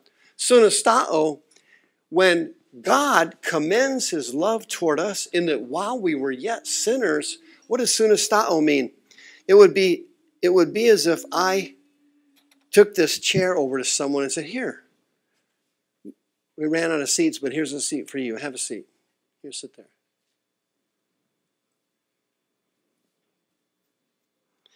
While you, while you were whoring yourself out, while you were drunk on your fanny, while you were cursing like a drill sergeant, while you were living in sin, while you were stealing and robbing and raping and pillaging, when you were doing that, God brought a chair over for you. Here, I want you. Sit there. Sunastao. Here.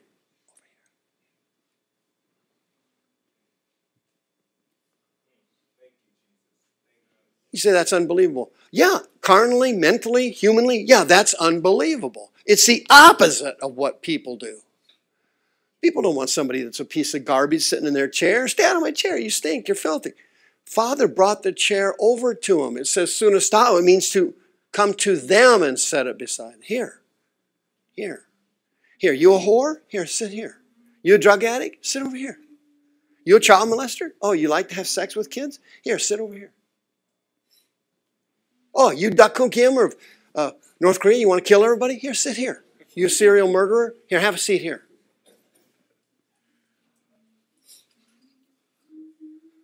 You say, well, they don't teach us in my church. You ain't in your church. This ain't your church. It never will be your church. We, we go over the truth here, as hard as that is to go over. Listen, if you suck, you are in line for a monstrous miracle from God.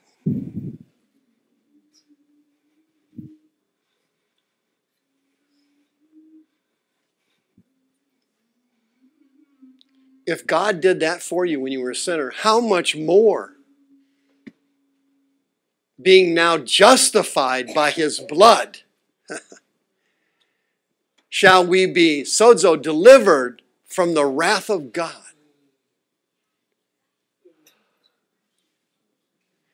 You are not going to stand there on Judgment Day and be tossed into the lake of fire for your sin because you ain't got any sin. Son,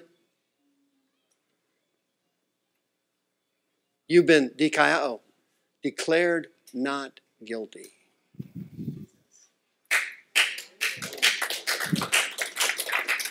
By what?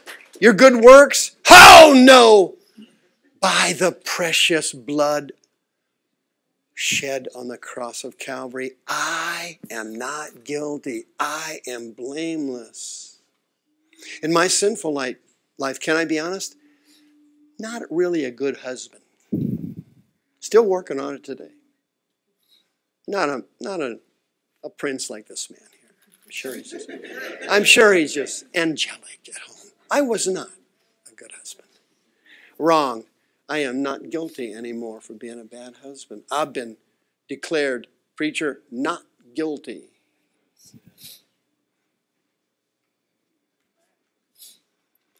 You don't understand, Brother Mike. I slept with 200, 200 men. Uh, no, you didn't. No, I sold crack to sixth graders. No, you didn't. No, you didn't. No, you didn't. I'm a child molester. Child molester. I, I molest third graders. No, you don't. No, you didn't.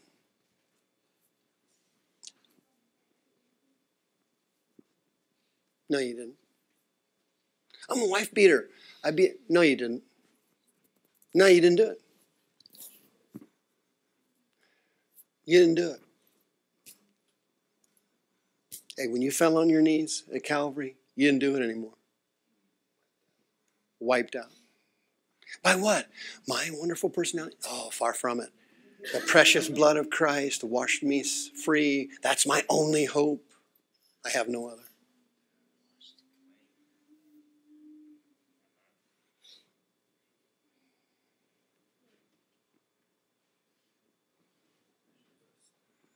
If God died for you when you were the worst person on the earth, how much more now that you are his child, since you've been called by God before you were born? He knew your name before you were born. You were called to be holy. You were called to be blameless in his eyes. You were called to be loved unconditionally. How much more now is he going to help you and bless you and care for you? If he loved you that much when you were his enemy, how much more now? If, when we were enemies, we were reconciled to God by the death of his son, how much more, after being reconciled, will we be delivered? Translation, you can't lose.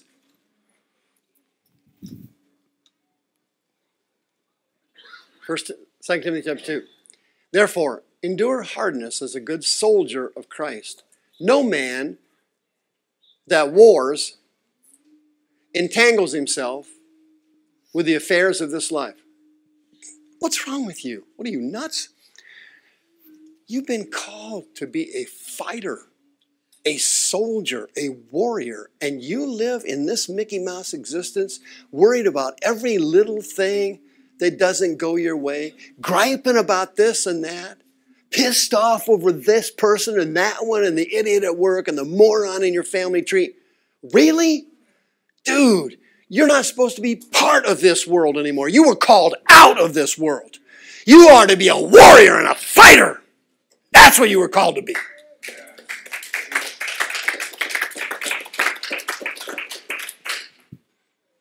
What kind of fighter? Like, uh, like the American military blowing up countries? No, this is a spiritual battle.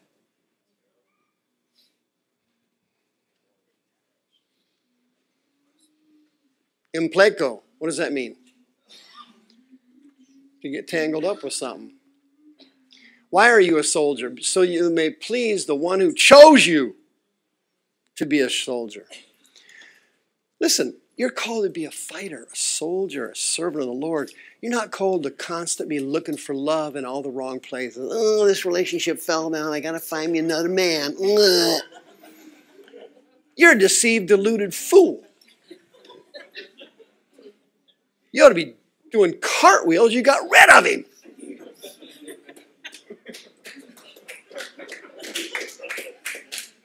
Who she left me, took this and that.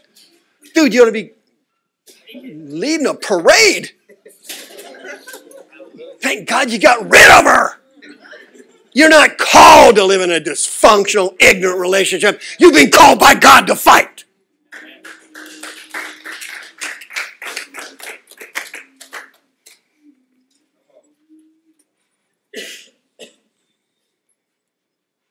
Impleko in Greek means what?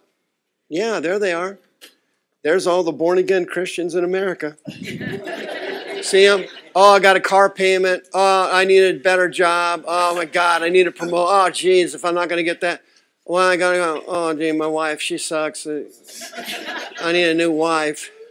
I need this one. Oh God, I can't do that. Oh, my, my inheritance. Oh, look at that. Oh, they're going to steal my hair. My sister got more socks than I did. Oh, jeez. Look at that right there. My kids. Oh, God. Somebody got more than my kids got. Oh, jeez. I hate it. I hate those parents. What? You fool. You've been called out of this world. You've been called to be a fighter and a soldier for Christ. Not entangled up in every little thing that goes on. It's, it's demonic. The demons are beating you, they're outsmarting you. You know what the devil does after he gets you entangled in his web of worry, fear, concern? He then eats you alive. Spiders eat their prey alive. That's what the devil does. He beats you down with sorrow and misery and sadness. He sends people to criticize you and degrade you and humiliate you.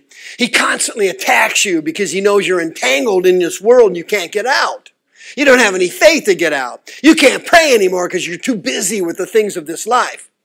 So he eats you alive. He slaughters you slowly with misery and sorrow and regrets.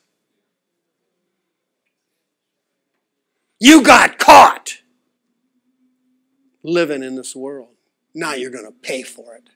But you're going to pay slow and you're going to suffer slowly. You're not going to get out of it.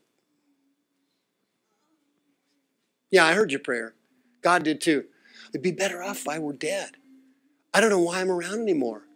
What am I doing here? Why don't I just leave? God, will you? I've had people send me prayer requests. Would you ask God to help help me? I want to go home. I sent him an email back. You're not going anywhere. you're going to repent of your sin. You're going to repent of self pity. And you're going to become a soldier because you've been called by God to fight.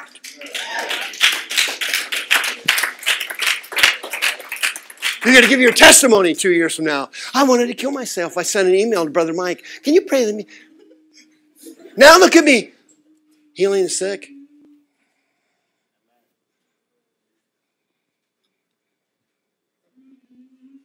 The devil will eat you alive, friend. 1 Peter 2. Let's clear, ready to close. You are a what? Chosen generation. You are royal priesthood. That makes sense, doesn't it? I mean, if God Himself called you before you were born, you must have been an important person. That's an, a sign of royalty. Before these kids uh, get born in England, uh, what's what's some people called?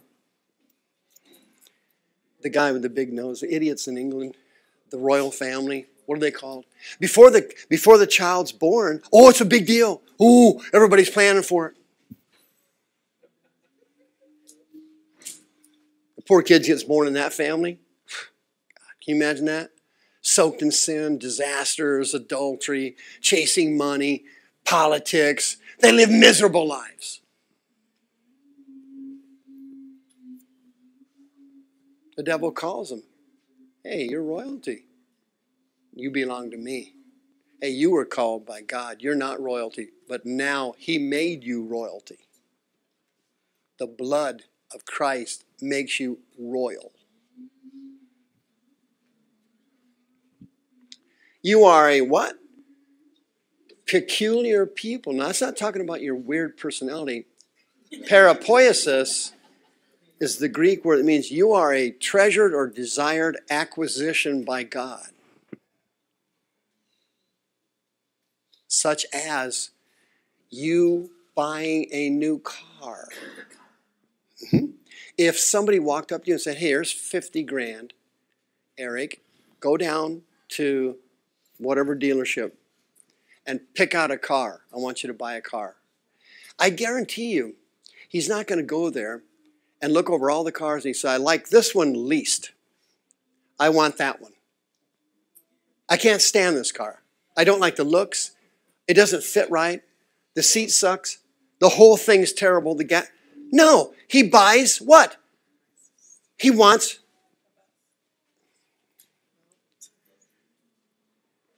He wants parapoiesis. He wants the best car. God called you in the womb because he wanted the best car.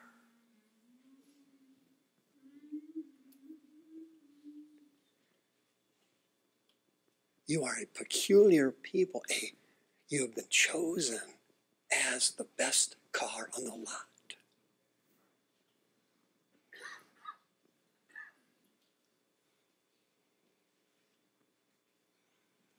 You're not an Edsel. You're not a Ford Fairlane. You're not a Pinto. Boom, bang. You, you, dude, you're a luxury car.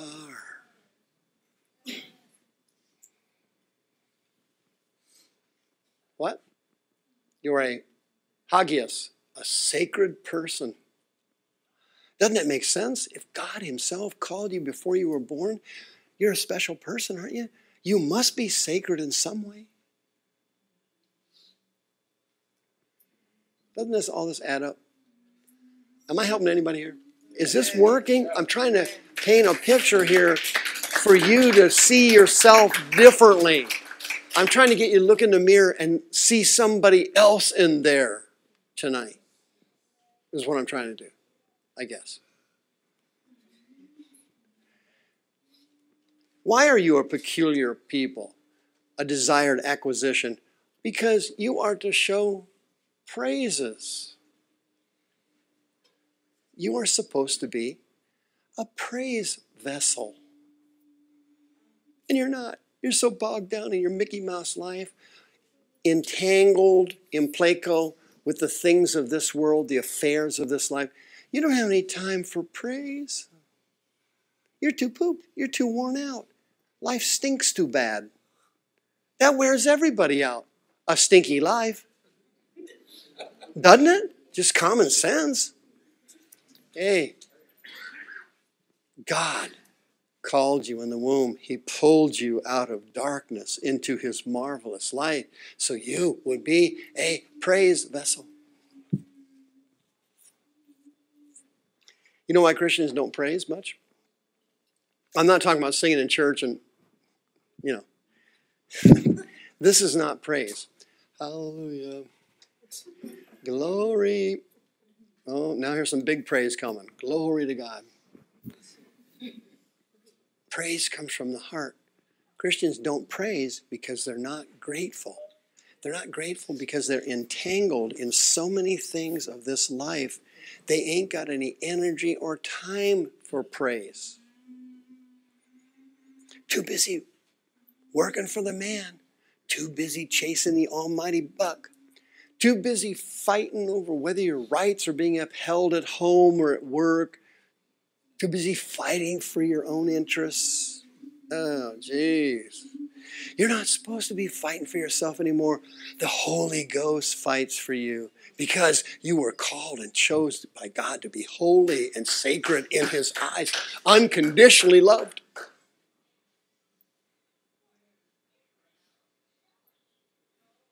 Your whole concept of Christianity is jacked up. What am I trying to do right now? Unjack it. Lord, I'm trying. Can you choose your own destiny? You sure can. Proverbs 129. They hated knowledge and did not choose the fear of the Lord. They would have none of my counsel. They despised all my reproof. What's going to happen next? They will eat the fruit of their own way and be filled with their own devices.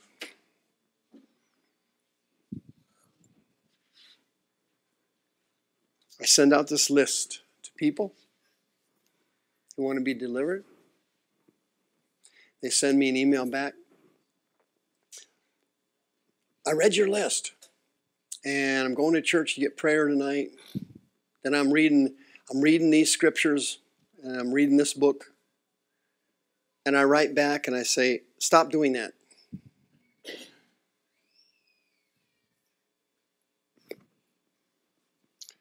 As long as you continue to try to fix yourself doing it your way, the way you think it ought to be done, the way you were taught to be done, and the way you think you, this is how you get healed, this is how you get delivered, and this is how you become a, this and that. As long as you keep trying to fix yourself doing it your way, that's how much longer you will stay sick. So now go back, cancel that, and go back down the list. There's the scripture for that one. One. Here's the scriptures for two. Follow these. You can't do things your own way and make it.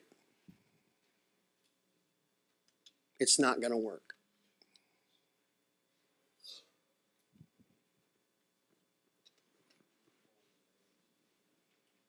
The turning the way of the simple, they will slay them. The prosperity of fools shall destroy them. Whoever hearkens to me shall dwell safely and shall be quiet from the fear of evil. Isaiah 65. You are they that forsook the Lord. He's talking to the Jewish nation, and you forgot my holy mountain.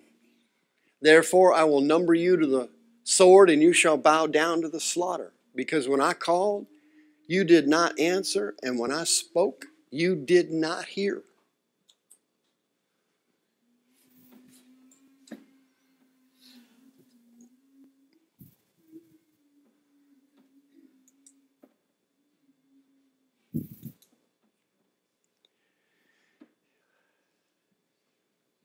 If you keep doing stuff your own way, I'm sorry, you're not going to make it.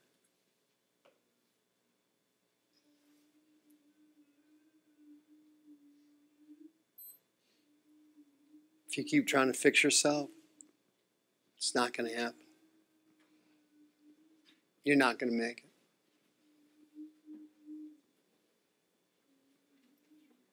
Let's pray. Thank you, Jesus. Lord, I gave them your scriptures tonight about what you really think about my friends, how much you love them.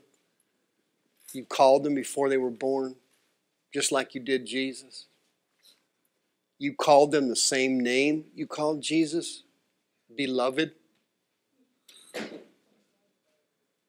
The blood that Jesus shed removes their sin from them and gives them a royal priesthood, a sacred calling. They are a chosen vessel. And yet, there's some people here tonight, Lord, who live in negativity and lies. They see themselves the way other people see them negatively, critically, lying. Now I'm asking you tonight, Lord, for these people who don't see themselves the way they should, they don't recognize how important they are, how wanted they are, how loved they are, how holy they are, how sinless they are. They keep living with their parents' criticisms and their parents' negativity. They keep living low self esteem, a low self concept.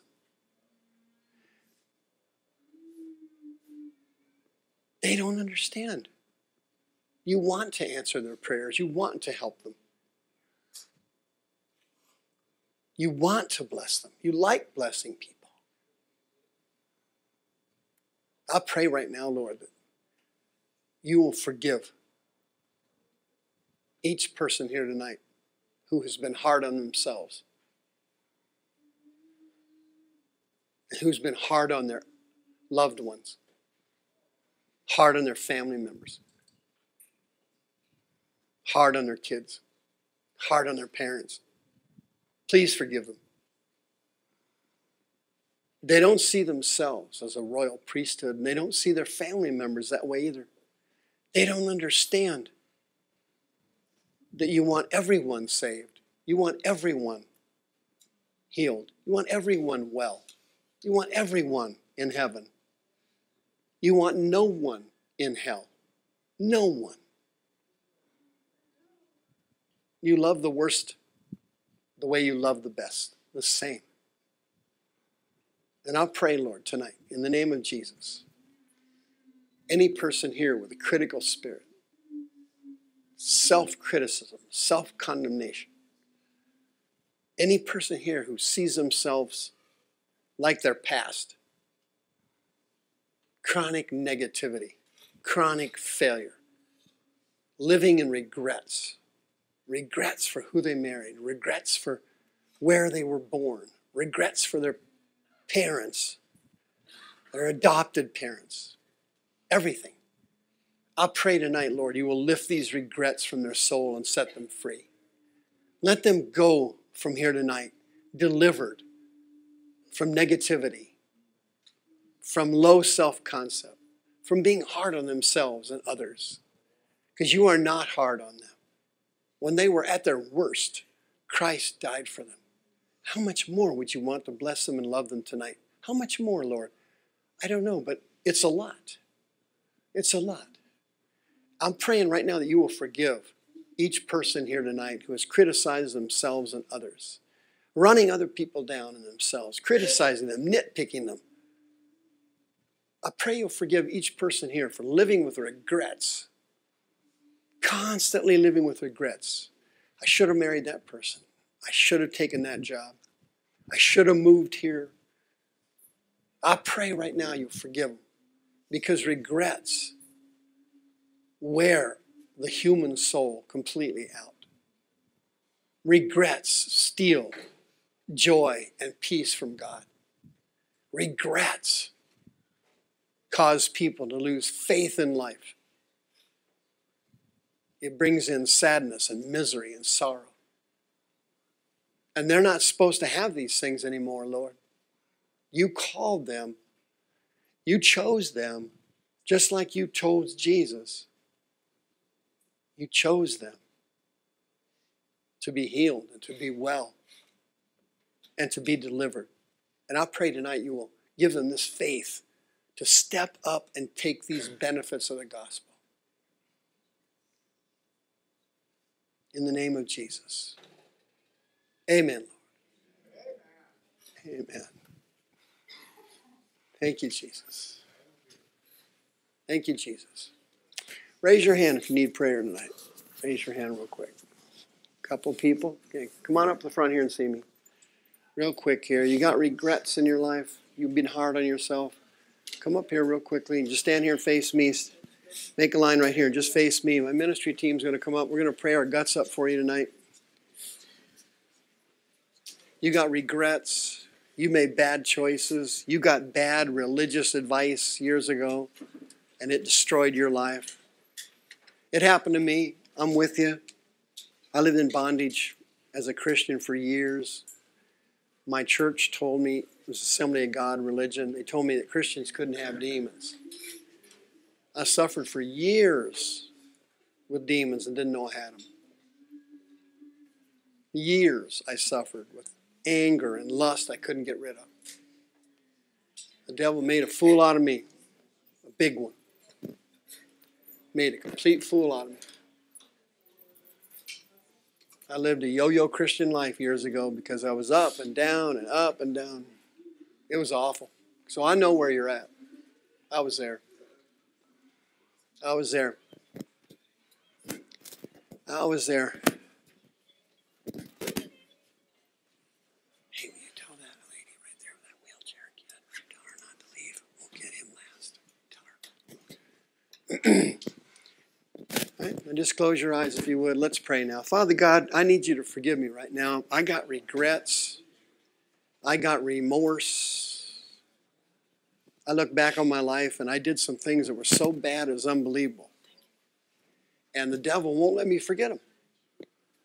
He keeps reminding me of it. He sends me people to remind me. He sends me friends. He sends me relatives. Something always triggers it. Now he sends me idiots on Facebook, and they remind me of things. I'm so sorry I got Facebook. Father, forgive me. Forgive me for running myself down. I didn't know I was chosen before I was born. I didn't know I'm a, I was chosen for royalty. I didn't know that God preferred the poorest athletes on his team, and the devil always takes the best ones. The Holy Spirit was looking for somebody like me all along. And I always thought it was always somebody else, somebody better than me, somebody smarter than me, somebody with gifts. I don't have any gifts. I see it now. It was all a lie. God chooses chooses the people at the bottom to give them gifts. He chooses the people at the bottom because they, they love better. They're more appreciative. They're more grateful. That's why he does it. I'm praying now, Lord, for these men here tonight. There's some men here that got this horrible demonic machismo. And the demons told them when they were young they had to tough this stuff out and not shed any tears. That's a lie from the pits of hell. The devil is blocking your healing because you won't open up and give him back your tears. The devil stole your tears. And he does it by beating on you for a long period of time. And pretty soon your heart gets callous. Paul called it getting seared. And pretty soon you, you can't even cry anymore. And the Holy Ghost is standing here looking you right in the face right now. The Spirit of God's going to move tonight. He's spectacular as usual. That's all he knows is greatness. He wants to help you, he wants to heal you. If you'll just confess it and open your heart, if you'll just confess it, the devil stole your tears, he can give you those tears back. That hardness that you have in your heart is sitting on a foundation of anger and frustration. When you get angry and frustrated, you lose your tears and you can't be reached by the Spirit of God. You can't be healed. The person then becomes the walking dead. Lord Jesus, forgive me. Lord God, forgive me. Close your eyes and just say it. Lord Jesus, forgive me. Oh, there it is. Come out of there. Lord Jesus, forgive me. Forgive me, dear God. Forgive me, dear Lord. Forgive me, dear Lord. forgive me, dear Lord. Let it, the tears go. Come on now. Come on. Let go of this machismo here. Here. This guy here's got a high IQ. Okay, let's let that thing go and go for childlike faith. That's what he needs, not high IQ. The desperation is going to come upon this man of God here. The demons are in there. They know he knows about them. Come out. Come out right now. Come out. Come out right now. Come out. Hurry up. Come on, close your eyes. Stop thinking. Just reach in here. Reach for your spirit, man. Stop using your mind. Come on, take a big breath. Come on, reach out of your. There, there he is. Come out of there right now. There it comes, right here. Come out right now. Come out of her right now. Come out. Come on. They're going to kill you if you don't get them out of there. You get them out now. You get out of there now. Come on, Father, give him back his tears. He will never fulfill his destiny. This block wall in there has got to come down. Come on, let that thing go. Holy Spirit, move now. Holy Spirit, break this wall down. Give them back their tears. Where are you going? Where are you going? Come here. Come on, close your eyes. Lord Jesus, what do you need, honey? What's wrong with you? Come out. Go. Now, who hurt you when you was a kid? What's her name? Come on. Who did it? What'd they do to you? Verbal abuse? Verbal abuse? There it is. That's it. That's a wound right there. It's verbal. They're trashing you when you were young. You're ugly. You're fat. You're stupid. We hate you. You're out. You're not part of the group. That's the one. That one right there. Come on, just repent of it. Come on, just repent of it. Come on, sweetheart. Who did it? Who's hard? Who was hard on you? Who was it? Who was hard on you? Honey, please. Who did it? Just say the name. Whisper it. Whisper it. Who was it? Patty? Huh? Patty, open your heart now. Father God, wherever Patty is right now, we forgive her. We forgive her right now in the name of Jesus. And we command Patty's verbal abuse to come out right now in Jesus' name. Take a big breath and blow. Come out right now. Go. Come out right now. Go. Father, forgive me for seeing myself as low, second base, second rate, a doormat, a nobody, a nothing. Come on. Come on. Patty, come out of there right this second. Patty, come out. Yeah, let your tears go. Come on, stop. Don't hold back and you'll get healed right now. Come on, don't hold back. Come on. Come on. No, there's a wound in there. There's a wound from Patty in there. She's already dead, but she's still here. Patty, in the name of Jesus, you come out of that body right now. There he is right there. Here he comes. Every spirit from Patty, come out of her. Come out of her right now. Every verbal abuse, criticism, every negative word, every lie, every time she yelled, come out. Come out right now. There it is. There it is right now. I forgive him. Come on. Forgive him. You have to forgive him. Come on, you have to forgive me. Come on right now. Come on, do not leave. You need prayer. Do not leave. We'll be here plenty of time. We're going to stay here. Do not leave. What's going on?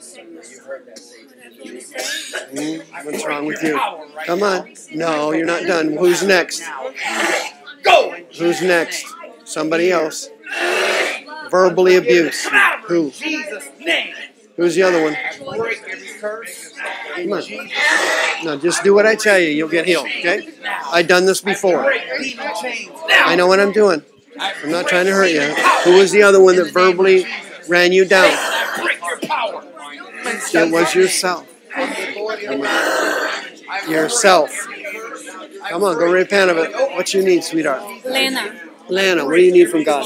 um, I just want him to reveal to you whatever that he wants you to pray for me. You speak in tongues? No. You don't? Okay. Now just follow me. Relax. Stay there. Come on, you're not done. And I just pray after me. Ready? What does that mean? Uh, that, you're not supposed to know what it means. Why not? It's glossa. Huh? It's glossa. It's tongues. Oh, it's in Hebrew. No, no, it's a heavenly language. You're not supposed to know what it means. You don't have your heavenly prayer language. That's what's wrong with you. I asked the Lord to only make me to, to speak in tongues if Huh? he if he, I would understand what Oh it no, is. you you're asked you asked amiss. That prayer was not going to be answered.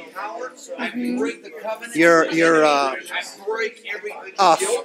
In the name of Jesus. I wanted the Lord to guide me. I wanted the Lord to guide me. I was guiding you right now. In Jesus' name. Your prayer is getting answered right now. Break your power right now. And I You just asked me Uh, can I say You said- something? Can I say something private? uh, privately. No, Okay. right now. Can I say Yeah, go ahead.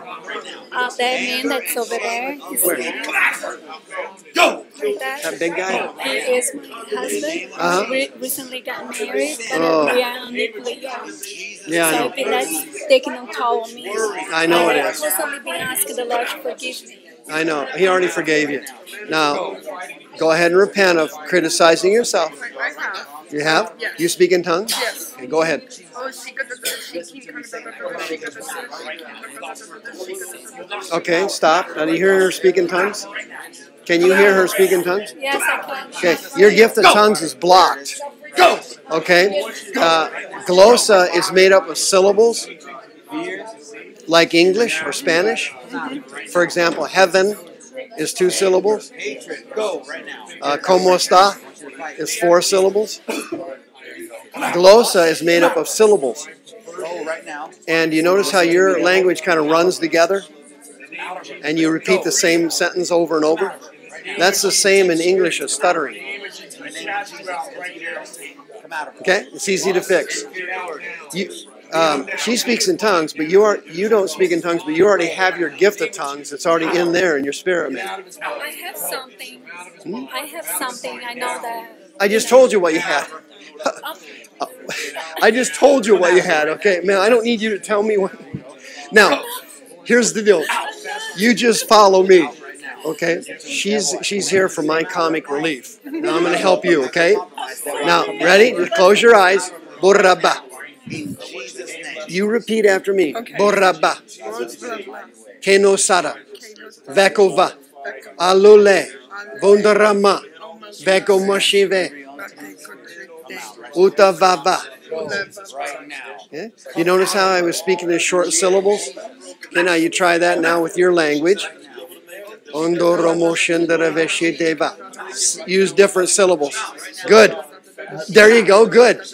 Okay. Now see what she just did? Can you just pray for me? I am praying for you right now. Okay. Now stop making me laugh. Close your eyes. Raise your hands and just do what I tell you. Okay. Lord Jesus, she is filled with stress in her soul right there. She is filled with stress and pain in there and regrets. And she needs help. And there's a fear spirit hiding in her body. That's why she jumps. Father God, right now I pray you will allow her to repent of living with these regrets and unbelief and doubt, and that whatever the problem is, you are going to help her through it, and you will never leave her or forsake her.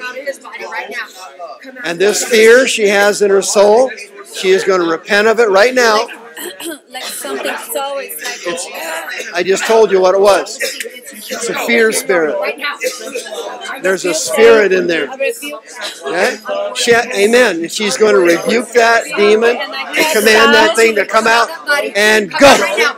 Come out. Take a breath and blow. Come out. Come out of my body. Keep blowing. Use your mind and command him to come out. Go. Go. Just forgive him. Come on. You gotta forgive him.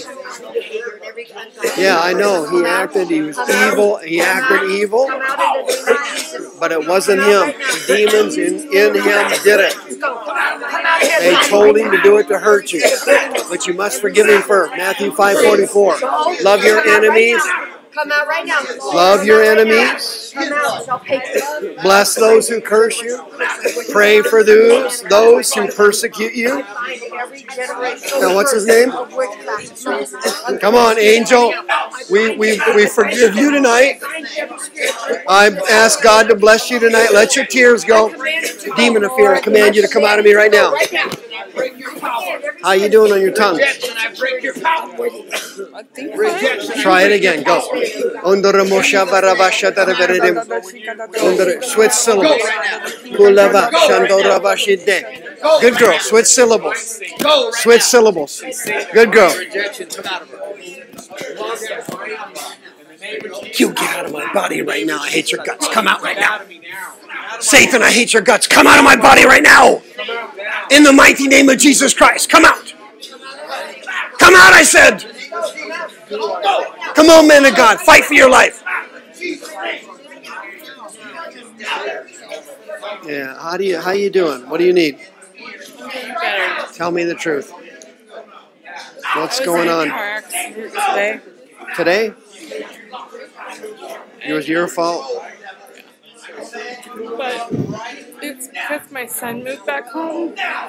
It what? My son moved back home, and um, I just don't trust him. He tried to kill me before. Mm-hmm. What's his name? Jonathan. Jonathan. Yeah.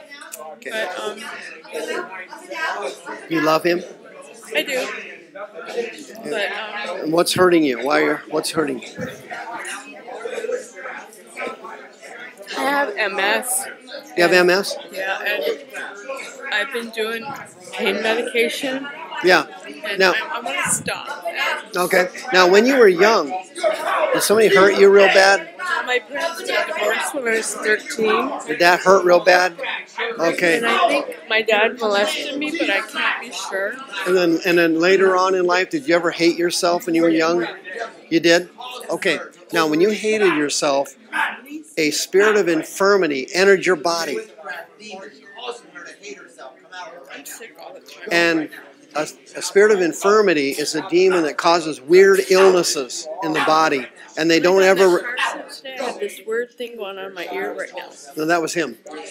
The spirit of infirmity that got in when you were younger causes weird illnesses that don't respond to medical treatment, and they're the ones that cause MS. It's usually related to self hatred or self disgust or not liking yourself. And it's that combination of things the spirit uses to give the person MS. Raise your How do I hands. get rid of it? Oh, I'm going to show you. Raise your hands. Thank you, Jesus. What's your name again? Kathleen. Kathleen. All right, Lord, I got Kathleen right here, and she's in deep trouble, and she is going to die before her time. Because when she was young, people hurt her. Her parents wounded her deeply when they got divorced. She was crushed. She couldn't believe her family was disintegrating. And later on in life, she hated herself.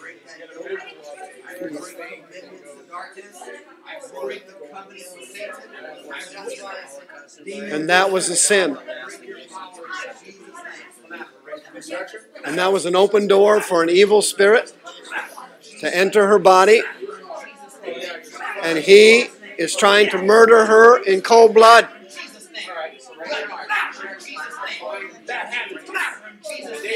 And she's going to repent right now. Lord Jesus, I'm so sorry for what I did.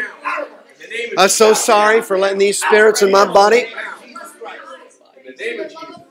Father God, I want you to go back in time for over every relationship she ever had.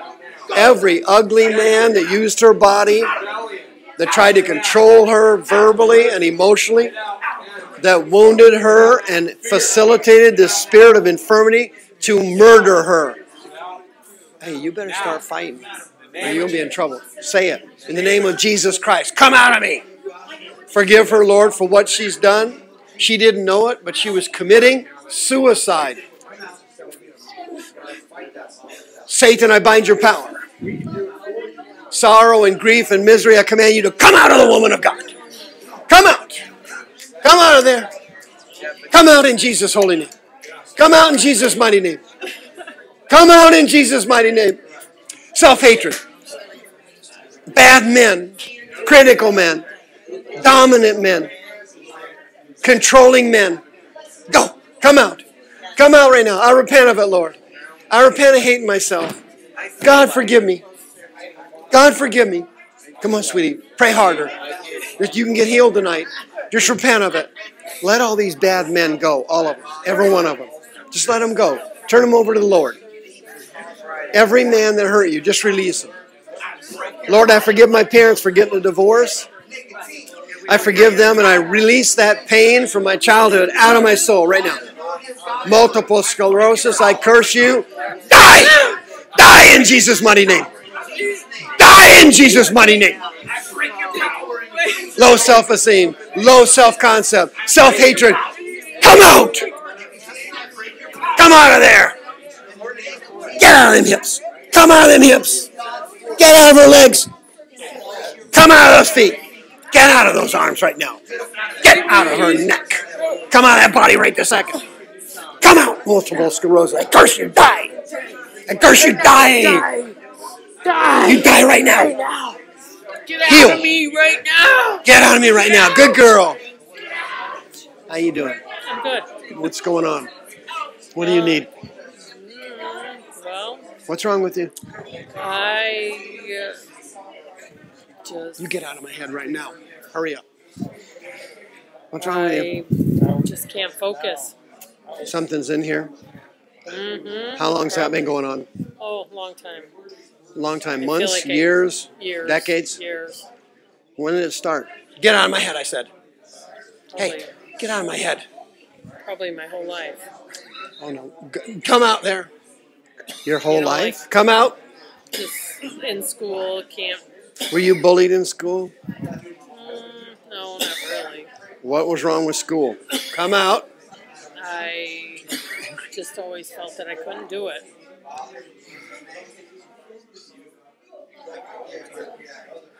How about preschool? Something bad happened to you? I don't think I went to preschool. I bet. No, preschool. Before you went to school, was something bad ever happened to you? I said, come out. What are you doing in there? Come out right now. Not sure. You're not sure? Did anybody hurt you when you were young? My dad was abusive, Verbally? verbally, physically. Was he hitting you? Yes, What was his name? Tony. Tony? Tony. All right, raise your hands. Father God, you see this beautiful woman standing here? Tony is still living in here. And the demons put a lie in her mind when she was very young that she was stupid, incapable, dumb, unable to learn. And it was a lie. And she believed it. And a spirit got in her brain. And he told her many more lies about herself. She spent her entire life thinking negative things about herself. Well, tonight, she's going to repent of it in the name of Jesus. And this seducing spirit, you liar, hiding in her brain, you are coming out of there tonight. You're coming out tonight. Father, I repent. Say it.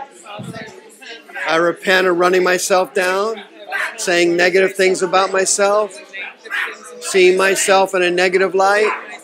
I repent of it right now in the name of Jesus. And I command the spirit in my brain that got in my head when I was a kid come out right now. Get out of my body right now. I command my dad's abuse to leave me tonight. Tony, come out of your daughter now. Come out. Take a breath like this. Blow. Come out, Tony. Come out, Tony. Come out of there. Keep blowing. Tony, come out. Every beating, all the pain in my stomach, all the wounds from Tony, I command you to come out of me now. I have a heavenly father now. I don't need a dad. I belong to my heavenly father. In the name of Jesus, come out. Come out right now. Leave me now. Negative thoughts, go. Lies about myself, go. Come out. Did you check your body out? Check, huh? Any change? It's the same, worse, or better? Huh? Is it the same, worse, or better? A little bit. My, arms. Okay. Now, now who who else you got bad feelings about? Bad feelings. You got bad feelings about who? You. Okay. Now there's no way for you to be healed unless you repent. Go ahead. Father God, I don't like myself. And I repent of it tonight. I repent of it right now so I can be healed. It's a sin to feel bad about yourself like it is to be feel bad about anybody else.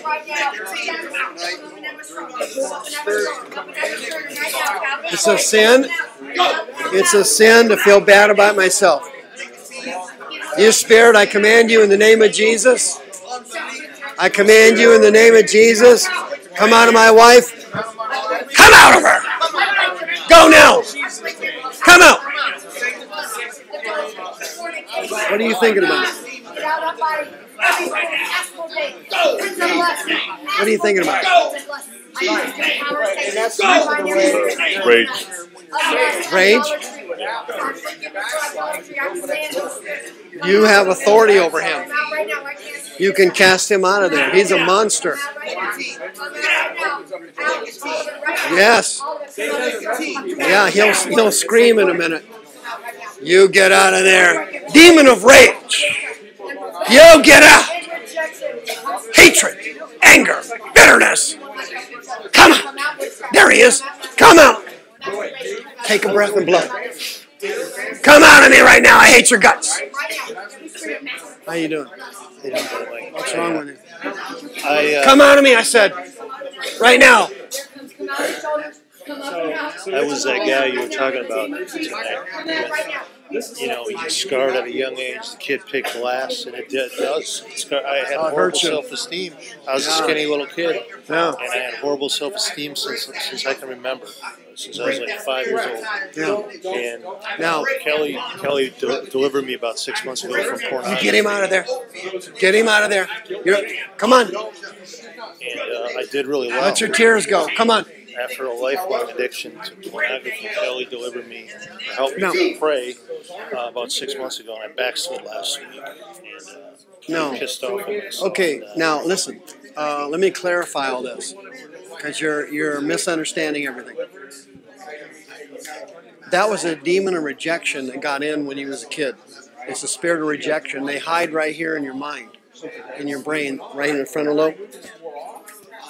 You- are you going to do something about him or stand there? Come on. Get him out of there. You get out. I want you out at any cost. Come out of me right now. There he is. There he comes. Come out. There he comes. You got a demon of rejection in there. Okay? Porn's not the issue. That's only that's the lust demon in here that that helps you feel better about yourself. It gives you an escape. But he's tricking you because once you escape into his area, then the next time it's worse. Then it gets worse and worse.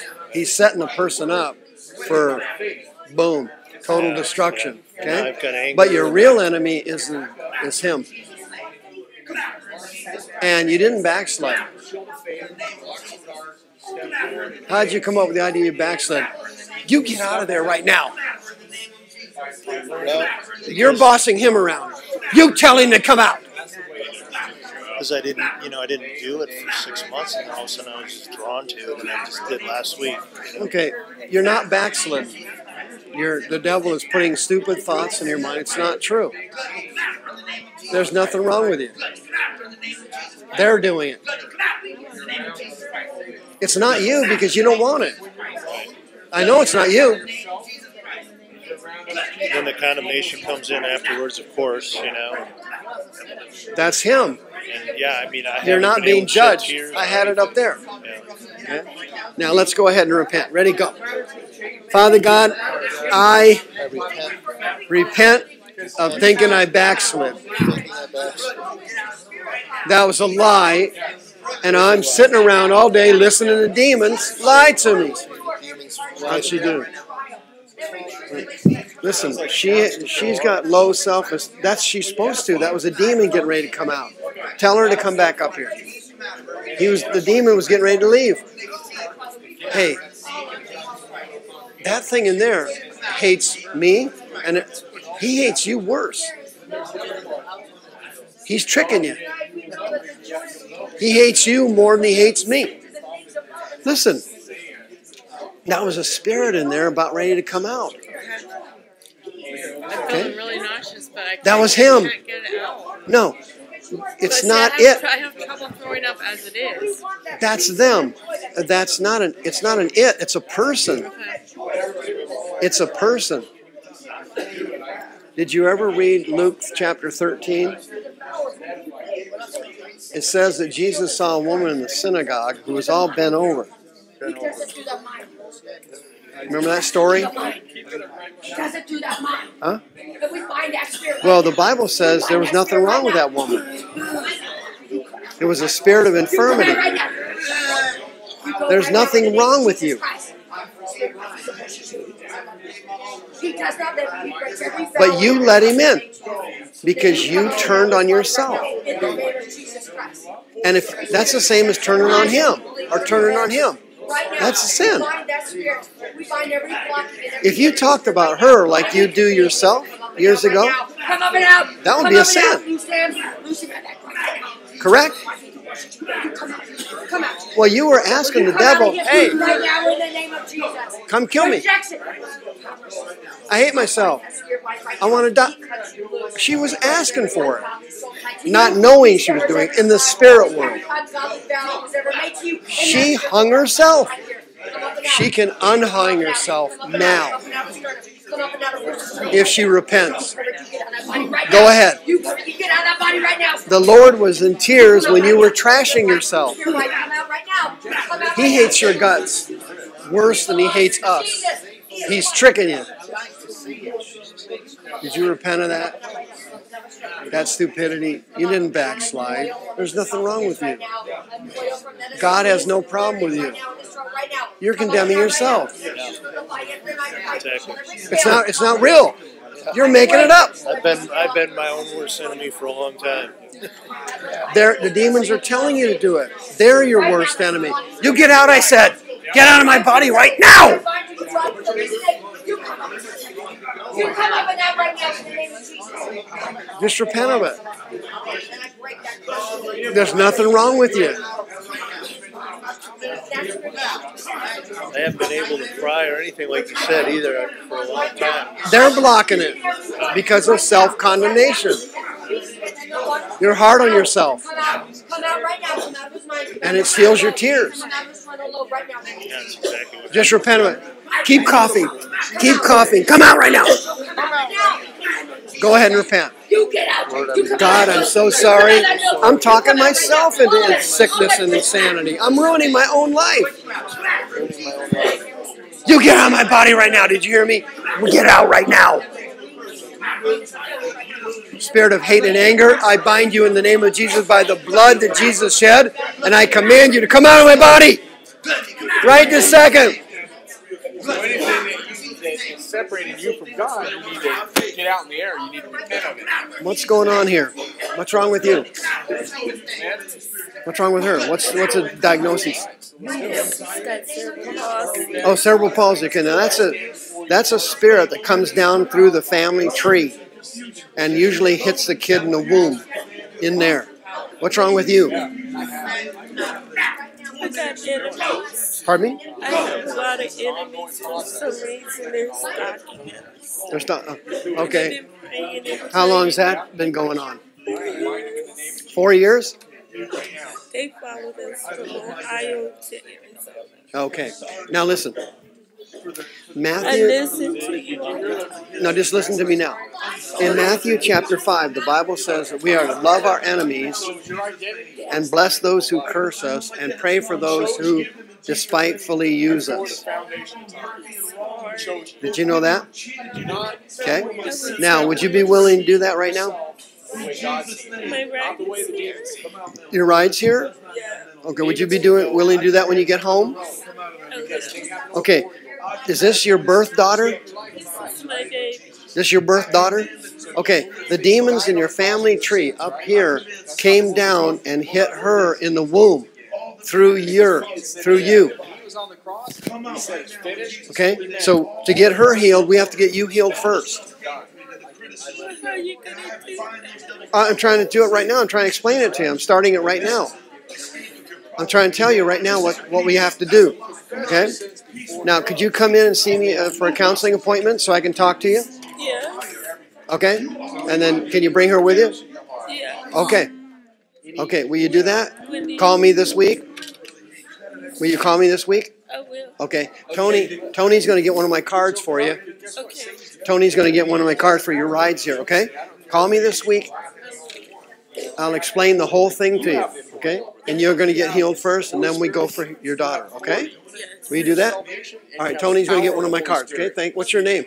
Thank you, Constance. Constant. Nice to meet you. Repentance, confessing.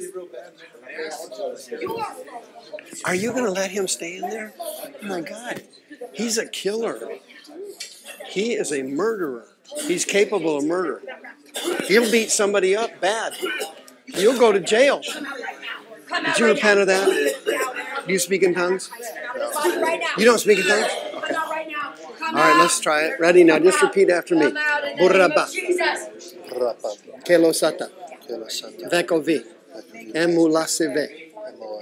Kolavasheke. Akuva. Bonda. Notice how easily you're repeating that? Notice that? That's it. We, do you notice, did you notice that? Did you notice I was speaking in short syllables? You notice that? And you were repeating me.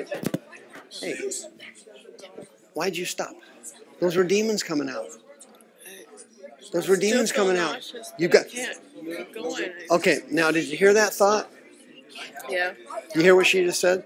A spirit put that thought in her brain. He said, I can't keep going. What he really means is, I don't want to keep going because I'm going to get thrown out. He's using negativity, which she was raised on, to beat her. That's not going to happen. Okay? You're going to sit over here. You tired? Are you tired? Okay, sit over there. Sit over there. Hey, we're this close. All right? Ready? Father, I repent in the name of Jesus of hating myself, carrying around my dad's negative words, carrying around all these bad men I've had over the years, all the negative things. Now, this time I'll pray, and then you add some syllables on your own, okay? Utaba, urabasha, nenomam, bundabashende, vendora. Any syllable. There's no wrong answer, you can use any syllable. Koravava, shendaroboshideve. Come on, Koravashata. Avato. There you go. That's it right there. Kulemoshavashataramoshedereve. Hey, do you speak in tongues? Oh, good. Come on over here. Go. Say it loud.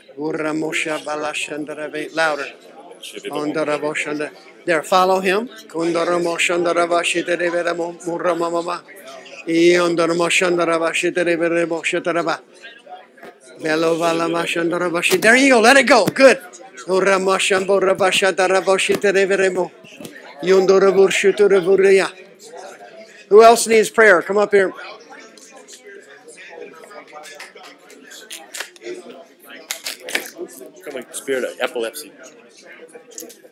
What's the root of that? Well, What? uh, What's the root of that? well, things that happened in my life as far as my memory. Anyway, my parents were involved with. Um, they were all in anesthesia and stuff like that, and they transferred.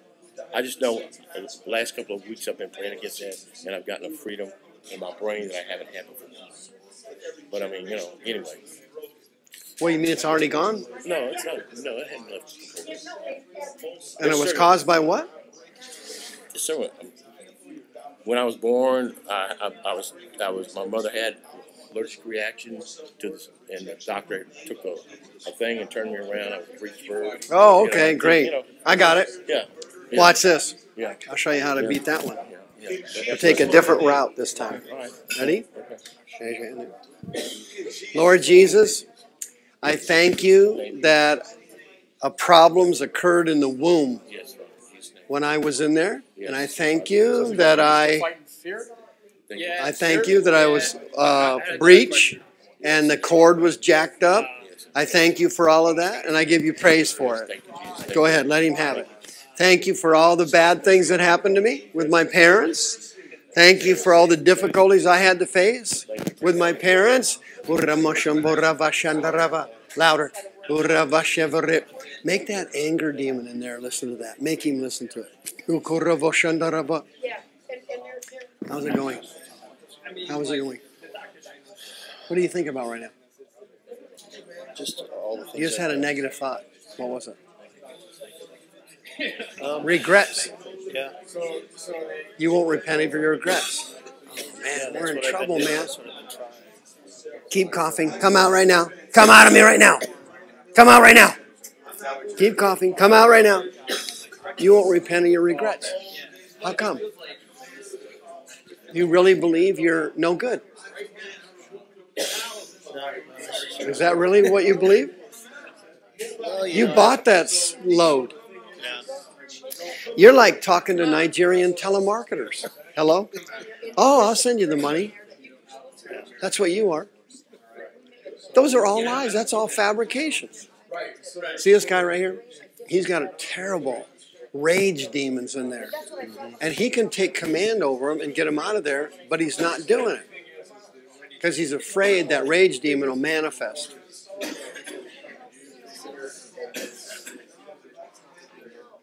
Now, why aren't you forgiving yourself? I don't know. It's hard, I guess. It's hard. No, it's not. If you felt the same way about that guy, that would be a terrible sin on your part. Wouldn't it? Remembering all his screw ups and failures and sin. Right? You mentioning it. Hey, you, you're no good. You suck. You fit. You're doing that to yourself. We, we can't get healed if you're doing that. Can you? What you're telling God is the blood of Jesus is too weak to cover me. It covered Mike and it covered that gal over there, but it's not good enough for me. That is crazy. The blood of Jesus would have saved Hitler had he wanted to be saved. He didn't want to be saved, so he took the pill. But he could have been saved. That's how powerful it is. But you're telling God that you're worse than Hitler. Are you going to really live with that? That's total. To me, that's total insanity. The blood of Jesus doesn't cover your sin, but it covers His. Well, that means God's a respecter of persons. That means God has flaws. That means God's a failure. He's a screw up. That's what you believe. You didn't say that, but I'm putting it in other words. You're saying, I got regrets and I can't forgive myself, and the blood of Jesus doesn't wash them away. They're still here. I'm still dwelling on them. Correct? Yeah, I don't know if it's, I can forgive myself. I just don't want to continue down this road. It's, you know, I do the same thing over and over and over. I know that, but your negative feelings about yourself are killing us. You feel like a failure and you have fear they're going to keep doing it. So that means you have unbelief and doubt. Correct? Okay, go ahead and repent of it. Are you getting him out of there today? Okay. You turn on him. Negativity, come out of me right this second. Self hatred, self loathing, hatred of my body, hate, hatred the way I look. Negativity. I repent of it right now. Negativity. Come out of me. Get out right now. Yeah, that girl. There you go. Force him out. Force him out. There you go. Good. Tell him to come out. Get out of there. I thought that was you. What are you doing? This guy, this guy's killing me. He drive me nuts. Well, I, He- you know, everything he said tonight was pretty much true. You know, I have been able to shed tears, and, and uh, I was the kid that was picked on, the skinny kid, the last kid picked, and it, it tormented me. You're absolutely right. I mean, from age five, as long as I can remember, it's been Now the demons are tricking him because they're telling him that that's important information. And it actually isn't. What's important information is he's a born again Christian and he's unconditionally loved by God. Then he said he backslid last week. He never backslid. A backslider somebody that says, Hey, I'm done with God forever. I'm out of here. Screw you. I'm gone. He never did that. He got self condemned again over what he did. I want you to get out of there right this second. I want you out right now. Get out of my body right this second. You come out of there right now. Get out of there right this second. Demon of hate and rage and murder. I bind your power. I command you to. How'd that go? How'd that go? I'm, I'm working on. How'd that go with the praise? Yeah, I do that all the time. I Oh, you already did that. Yeah, I already, oh, I And it didn't work. the time. Well, Okay. See, what, what happens in, on, on a daily basis? I'm, and, and I don't dwell on it. It happens. I'm constantly forgetting and then remembering. Like six days, I've been after. Call, Forgiving. call the bank and call the bank and take care of transferring some money from bank one to bank two to pay my bills. That's just an example. Like for forty years, I've always wanted to, to learn dozens and dozens of songs. I'll start on it for two weeks, and then it's like that whole that whole mechanism, that whole uh, um, direction is completely obliterated out of my conscious, and it's kind of like I wake up a month later and go, man. You, you forgot. You, you just dropped the whole ball of wax, and I start over. I don't complain. I don't complain. I said, you know, in fact, one of these days, the right time, I will sing you a couple songs, you know, and, and that's what got me on, on, on my quest. It's like, people, man, you should be doing this. You should be singing. I said, oh, that sounds like a pretty good idea. Then I go, Justin, I, just, have a prayer Justin. right now. I just have some questions. Good to see you again. Yeah, you too. Glad you uh, came back. What's going on? You remember the first time I was here? Yeah. First time I was here. Yeah, we prayed for a leg or foot or arm or something. Shoulder. Were you that guy? That? I had a hand. Hand. Okay, yeah, good. Yeah. Do you remember Hold on, stay right here. was? I'm Stay right here. I thought you were about No, to say three it was last year. It was a long time ago. It's about six years ago. Yeah, six years ago. Heal. I just want to know. What was your question? Oh, it's blocked. It's being blocked. I literally, you gave me a card to call. I literally put it under my cast and said, help my uncle. Prayed all night. Nothing happened. Yeah, it's being blocked. God wants to heal everybody. Your healing's being blocked. All you got to do is figure out what's It blocking. hurt. It's like, this is good. But it did heal my sophomore year. I balled my face on that. And then you feel how about that? I feel like I don't know what basis I'm supposed to have my faith that won't even heal when I put all my faith into God. Oh, right. Yeah, that happens a lot. This is a common problem. What happens is the devil blocks a healing, and then the person turns on God. Happens all the time. You're like you're like you're like a mi- there's a million guys out there like you. I think there should be proof like, behind everything. Mm, yeah. Like, I don't think it's right that you have to have blind faith to get into heaven. No, it's not blind faith. You don't blind faith don't work. It's by your heart. Blind faith does not work. Your faith has to be based on God's word, and you've got anger and bitterness in your heart. Anger and bitterness. hmm It's not You're anger and you're bitterness, angry. It's, just un- it's not really anger and bitterness. It's just not knowing. Not knowing. No, if it was just that's incorrect. That's not true. If it was just not knowing, Well, if it's in then you would want. It's not in my soul. If it if it was just not knowing, then you'd be curious and want to know. But you've got a you've got a, a nasty kind of a anger thing in there for the good Lord. It's kind of a fussy, frustrated. frustrated. Okay, yeah. Yeah. But it's frustration that I don't know, actually know if he's there or not. I think Exactly. it's, no offense, I think it's BS if I'm end up in hell if not going to show.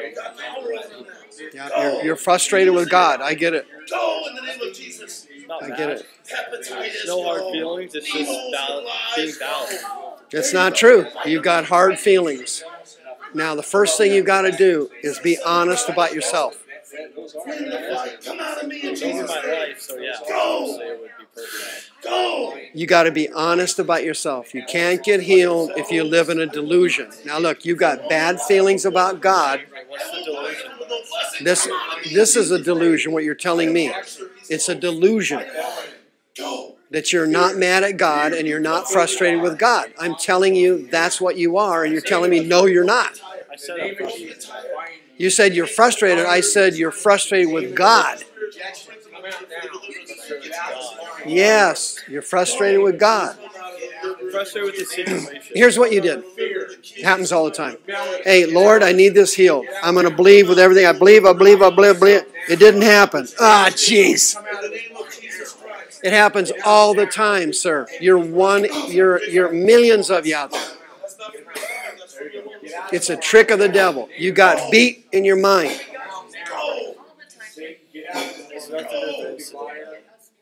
I'm not Excuse angry me? That, I'm not angry that it didn't heal. Get out. I'm angry about the fact that I can't know because it didn't. You can't know Put it because of this what? way. I'm angry that I can't know if he's there or not because it didn't heal. Like, why didn't it heal? That's that's not true. That's a delusion. That's really all I came to ask is why did like why? I just answered it. Because I was I had my full faith in this. As far as I could put it in, Yeah. I had all the faith I could put in. Okay. At that point. That was good. Why, uh, why did it I don't know. Something blocked it. But now you're never going to find God because you got a, you know, you got a frustration with Him.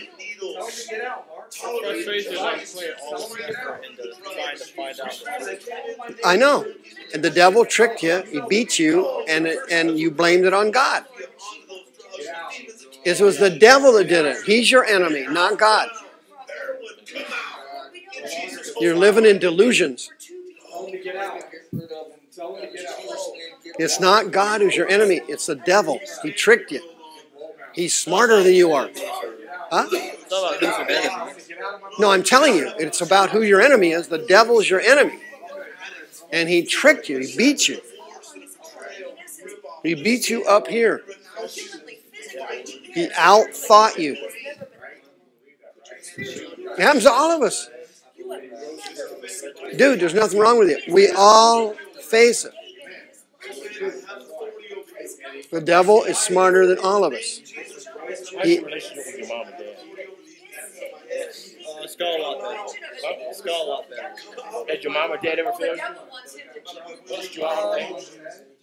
Frustrated you? No, I'm not that emotional person.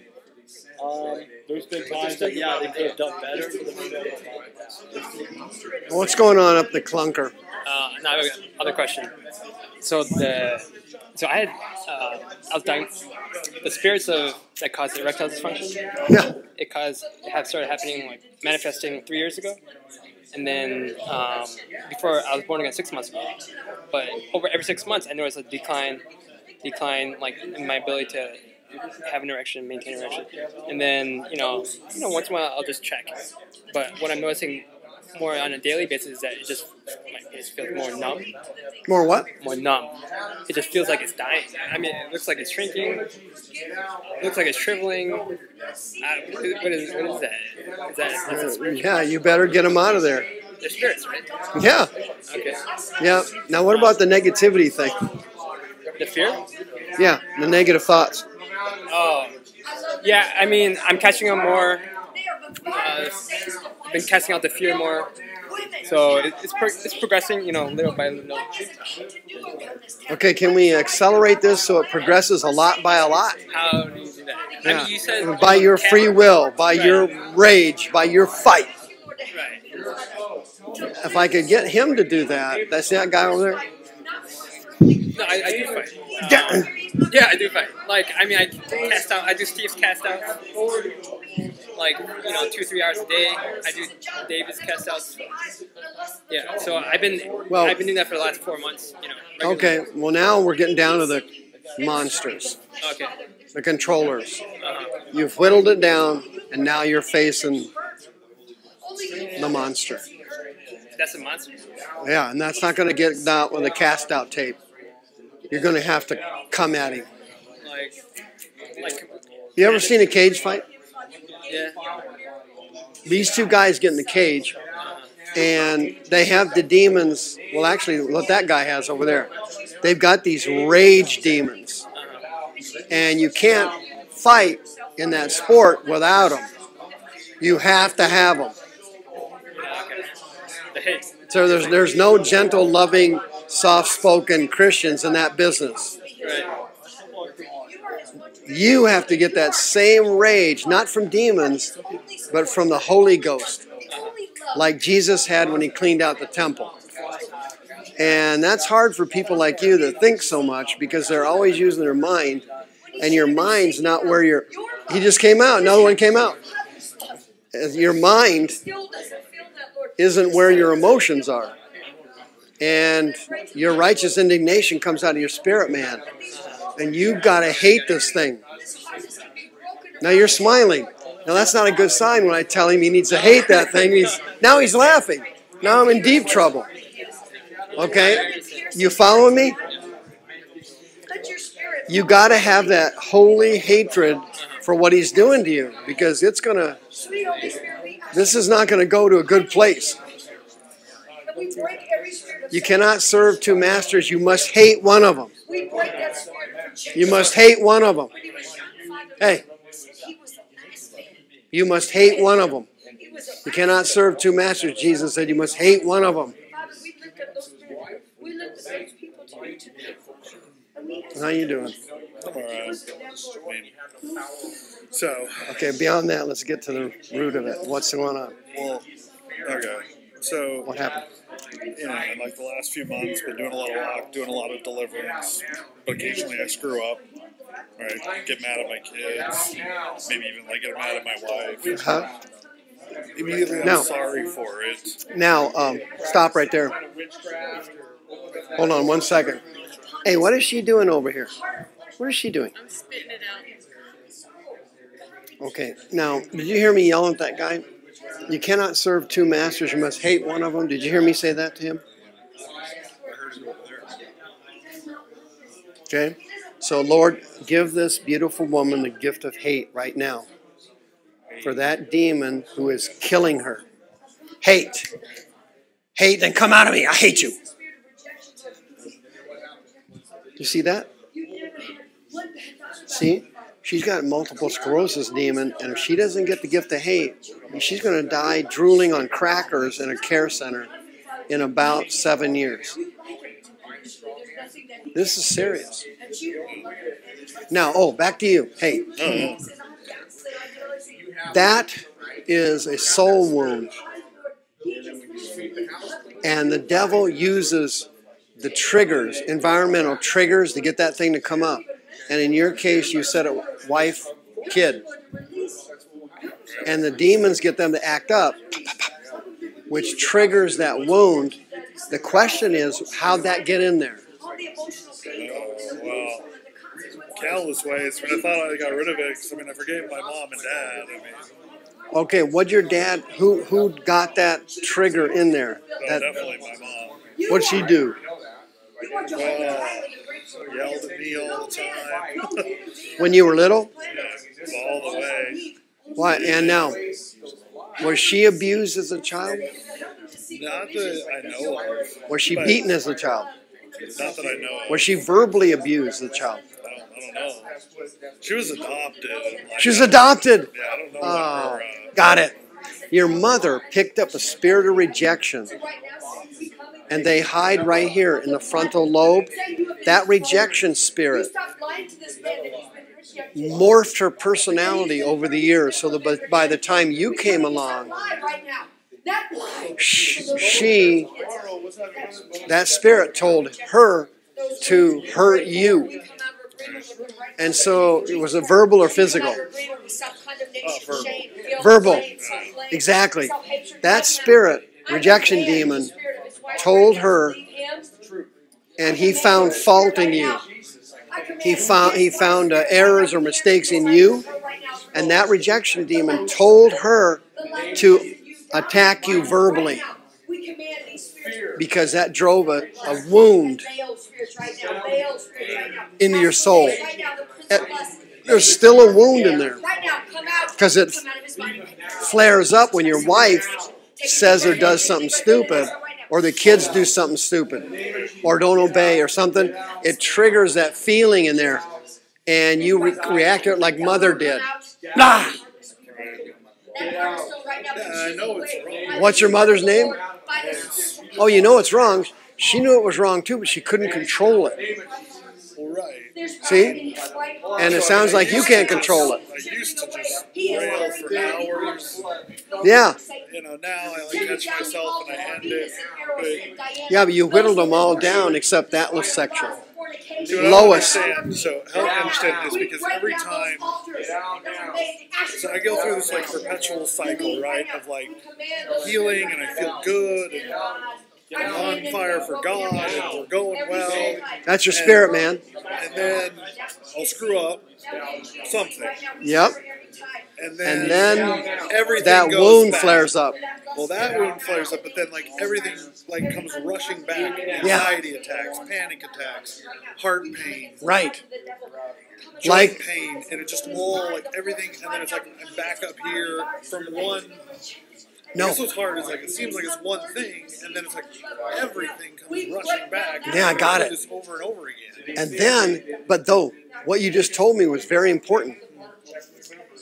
You are back when you're a kid, when your mother's reaming you out. Remember how you felt? Oh, That's how you felt. It's it's not all coming back. They're pulling you back to your mother. Notice that? That's how you felt when she was letting you have it. And that's a soul wound from Lois. Is she still alive? No. Okay. Close your eyes. Close them. There it is. Father God, come out. Father God, Lois, God love her, she's dead now. And there's nothing we can do. I'm sorry about that. It's too late for Lois, but she's still here. She's still alive. In the spirit world, she lives here in her son. Lois, all your wounds of verbally abusing him as a kid, reaming him out, degrading him, wounding him, running his self concept down, hurting his soul. We know you did it because you were hurt and because you were wounded. You were rejected by your parents. You were adopted out and thrown out of the family. And that rejection demon attacked this man of God. Come out of him. Come out of that throat. Come out of there. Get out of that body. Lois. Lois. Leave your son. Lois. Get out of that stomach right now. All the frustration for women. You woman hater spirit. You woman hater spirit from Lois. Come out. Come out right now. You woman hater. Hating women. Hating wives. Hating mothers. Spirit, you come out of that body right now. Hating. Frustration with wives. Frustration with my children. All comes from Lois. These deep seated wounds, in the name of Jesus, come out. In the name of Jesus, come out. Here he comes. Sorrow and sadness. There comes a wound. Here it comes. Here it comes.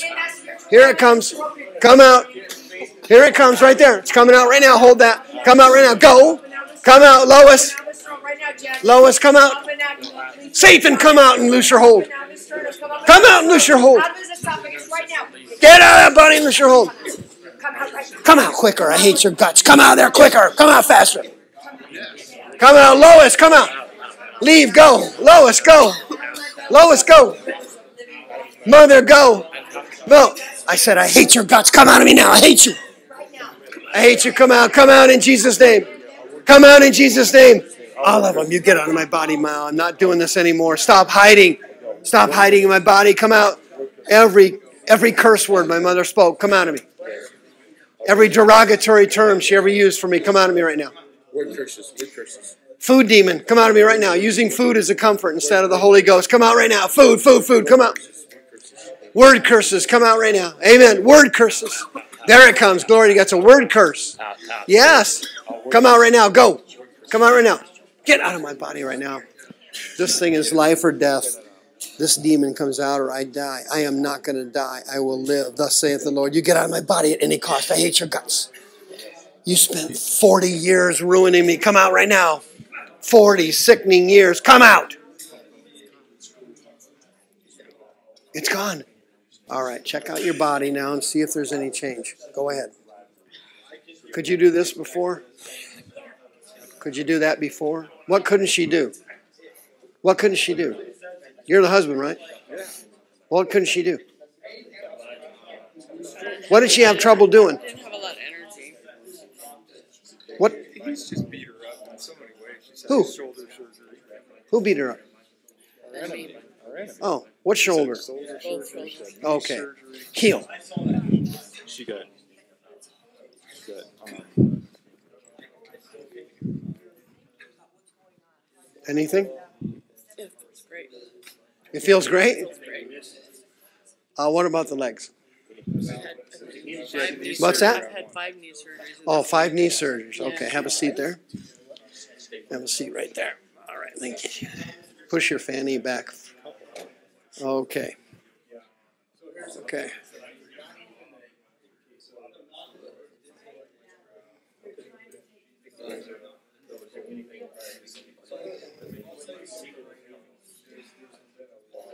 Come here. Here, uh, kneel down there, will you? Lift her legs up.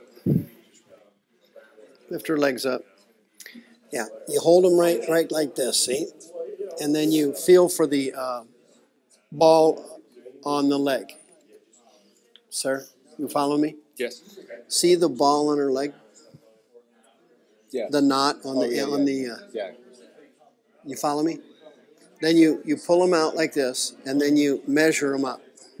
Now, do you Oh. see, happen to notice that this Yeah, one is a little shorter than that one? Mm-hmm. You happen to notice that? Yes. Okay, hold that. Come around here. Come around here. Yeah. Hold no. Come around that way. Hold it. Hold the knot. Hold the leg right there. Notice this leg's a little shorter than that one. Okay, ready? Heel.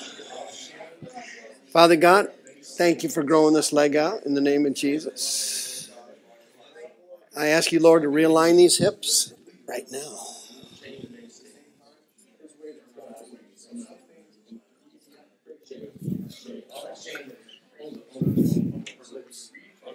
Anything?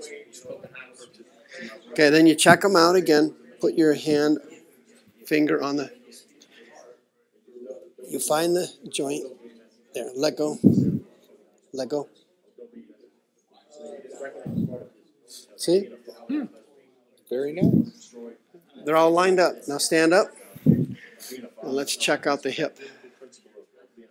Try your hips out and see if there's any change. Now, is this shoulder still up real high than this one? See It how is? This one usually sits real high, much higher than this one. Is it, you saying, is it now? I don't, no, no. It? No, they're level now, as far as I can see. Can you see? Are her shoulders level?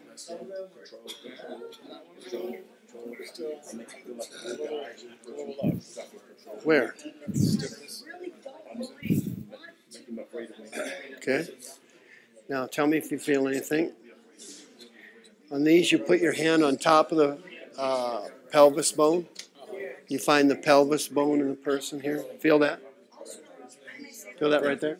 Okay. Then you pray. Feel that. No, at the top. Feel the top. Okay. You follow me? Yeah. See, there's a top of it. You know, can you see if those are level They're level. by getting, looking back at me? Behind, me. is there any either of these off?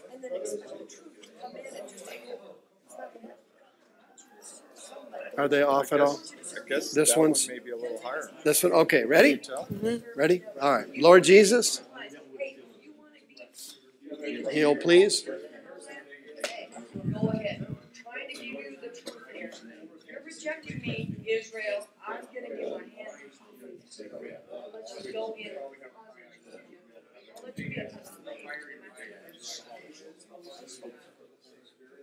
Sense anything? Now see if you can walk any differently. Go walk down there. Can you run? Go run.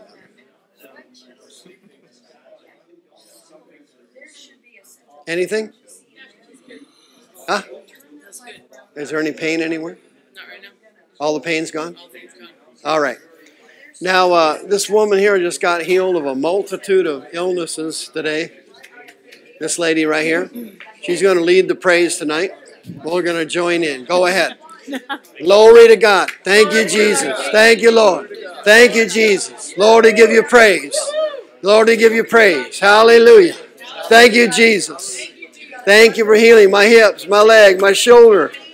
My shoulders are even. My hips are even. My pain's gone. Thank you, Jesus. Glory to God. My MS is gone. Glory to God. Now, can you, Lois, is she still in there? I don't think so. Now- I mean, I don't. You know. But Now, a lot of times I've walked out of here thinking she is gone, right? Well, we And did. Okay, well- Melissa, maybe Melissa. Who? Melissa, Who's Melissa? his wife. Well, no, no, the wife's a spillover from the mother. Okay, she's a woman. Oh, She, the Lois mother. Oh. Yeah, Lois, her mom. That's where he got this woman hater in there. And it's not him. He doesn't hate women. That spirit hates it. Yeah. Hates women. Yeah. Because Oh, of his mother, because her mother beat on him verbally very bad. Wow. Yeah. Yeah. She was vicious to him. Wow. Yeah. And that's what led to all these other problems. Now, if, and this is what's going to happen, God in His mercy is going to let your kids screw up tomorrow. And when they screw up, if you have any flare up of that, we know we didn't get it all. So that means we got a portion of it or half of it. So all we have to do is get the rest of it out. The reason he's not coming out is because you're getting uh, discouraged and frustrated like you just said to me just seconds ago, you go, Well, I left here and I thought they were out, and you were shaking your head like that, and you were looking like that. See? Right. And when you were doing that, that was telling me he's frustrated. Okay? So if I can get you to just readjust here, click, hmm. and realize that this is just, we're going to win. It's no problem. It's just a simple process. I've got a, God's allowing me for my wife to screw up to trigger that wound to let me know it's still in there. But if she screws up and nothing happens, then I know I'm healed. If that makes sense. Makes perfect sense. It's, it's like a medical condition. See, if my if my shoulder's not healed, I'm walking around like this. Even if I blab off the word of faith crap, I'm still not healed. I'm healed, I'm healed, I'm healed. I, dude, you're not healed. Your shoulder's sticking up like that. Snap out of it. But if I'm like this, hey, I'm healed. See, your symptoms are gone. So, in a soul issue, since you can't see it, the Holy Spirit has to allow something negative happen to bring it out of you. So that way the person knows, ooh, there's something still in there. But he was doing that, but you were taking it wrong. You were taking it wrong, like the devil was telling you, you're frustrated, aren't you? You're never going to get healed, are you? Are they all gone? Are they outside? Are they inside? And then there's this confusion that starts to float through the person's mind about them being delivered. But actually, it's simple. You know, it's like whittling, whittle it down, and then now we're down to here now. When he first started coming here, we were up there. Now we're down to here, and we've only got a little bit more to go. And all you have to do is be patient and understand that we got him. Yeah, that's good. So you don't get frustrated anymore. Then we can kill him. You with me? No, man. I love you. Absolutely. Love it too, man. That's all it is. Patient, whittling it down. You, did anything bad happen to you after he died? Hmm? Did anything bad happen to you after he died? Um, No, I was just frustrated that I tried to get through to him, I tried to talk to him about this, and, and he just wouldn't. Did you repent of that yet? But I, I, I spent, uh, spent a lot of time ministering to my nephew. Did you repent of that yet? Yeah. Now, here's the deal. And You're, when you do evangelistic work, Jesus said, you go to this house. They tell you to get lost. You don't take it personal. You go to the next house. You tried to get your brother saved. You did your best, and he wasn't listening. And it wasn't your fault. It's not your fault. What I'm feeling right now is I got one brother left. And you're feeling fear over him. And, nep- and nephews. And he's going to go the same way. You're fearing that. Yeah. Okay? I'm asking God, what, what am I supposed to do? And what I'm, He's answering your prayer right now. what You are to repent. What What'd you say? what I'm hearing him say is just like, just like with my daughter. It's like, well, God wants me to fix me first. Well, that's correct. But the fact you've got fear, that's going to hurt us. Mm. That's going to help him go to hell. The same thing with my You're daughter afraid. Just, just started college and is not communicating with me. And you, do you have fear over that? Yeah. That's a soul issue. And that fear is going to block your prayers and Is the that la- also taking on the responsibility? Like I'm, I'm supposed to be the fixer? No, you're you're blaming yourself probably because you're supposed to be the dad and fix all this stuff, and you're the Christian, and you're supposed. This is all you carrying around self-imposed burdens. God's not putting these burdens on you. He's not doing it. You're doing it yourself. And the reason the devil wants you to do it is because that'll block your prayers, and so your other brother will go to hell, and then your daughter's going to go. I say no. And that's giving you fear. Okay? Will you take a, 10 minutes now and repent of this? And remove this fear of the, their future. It's really the fear of their future. That's what you're afraid of. And that's how the devil's blocking your prayers. And you can't afford to have your prayers blocked. We need them for those people. Will you do it? Will you repent of this, this fear of their future right now? Now? Thank you. Where's Tracy? Uh, uh, streamers, this is Brother Mike. I'm signing off and uh, go to the website, hardcorechristianity.com, and hit the post deliverance button, hit the uh, teaching button, and read two articles How Satan Controls the Mind and Satan's Counterattack. The devil will attack you, you will be hit within 48 hours. Thursday night, 7 o'clock Pacific time, Friday night, 7 o'clock Pacific time, healing, preaching, and deliverance here at the Arizona Deliverance Center. I am out.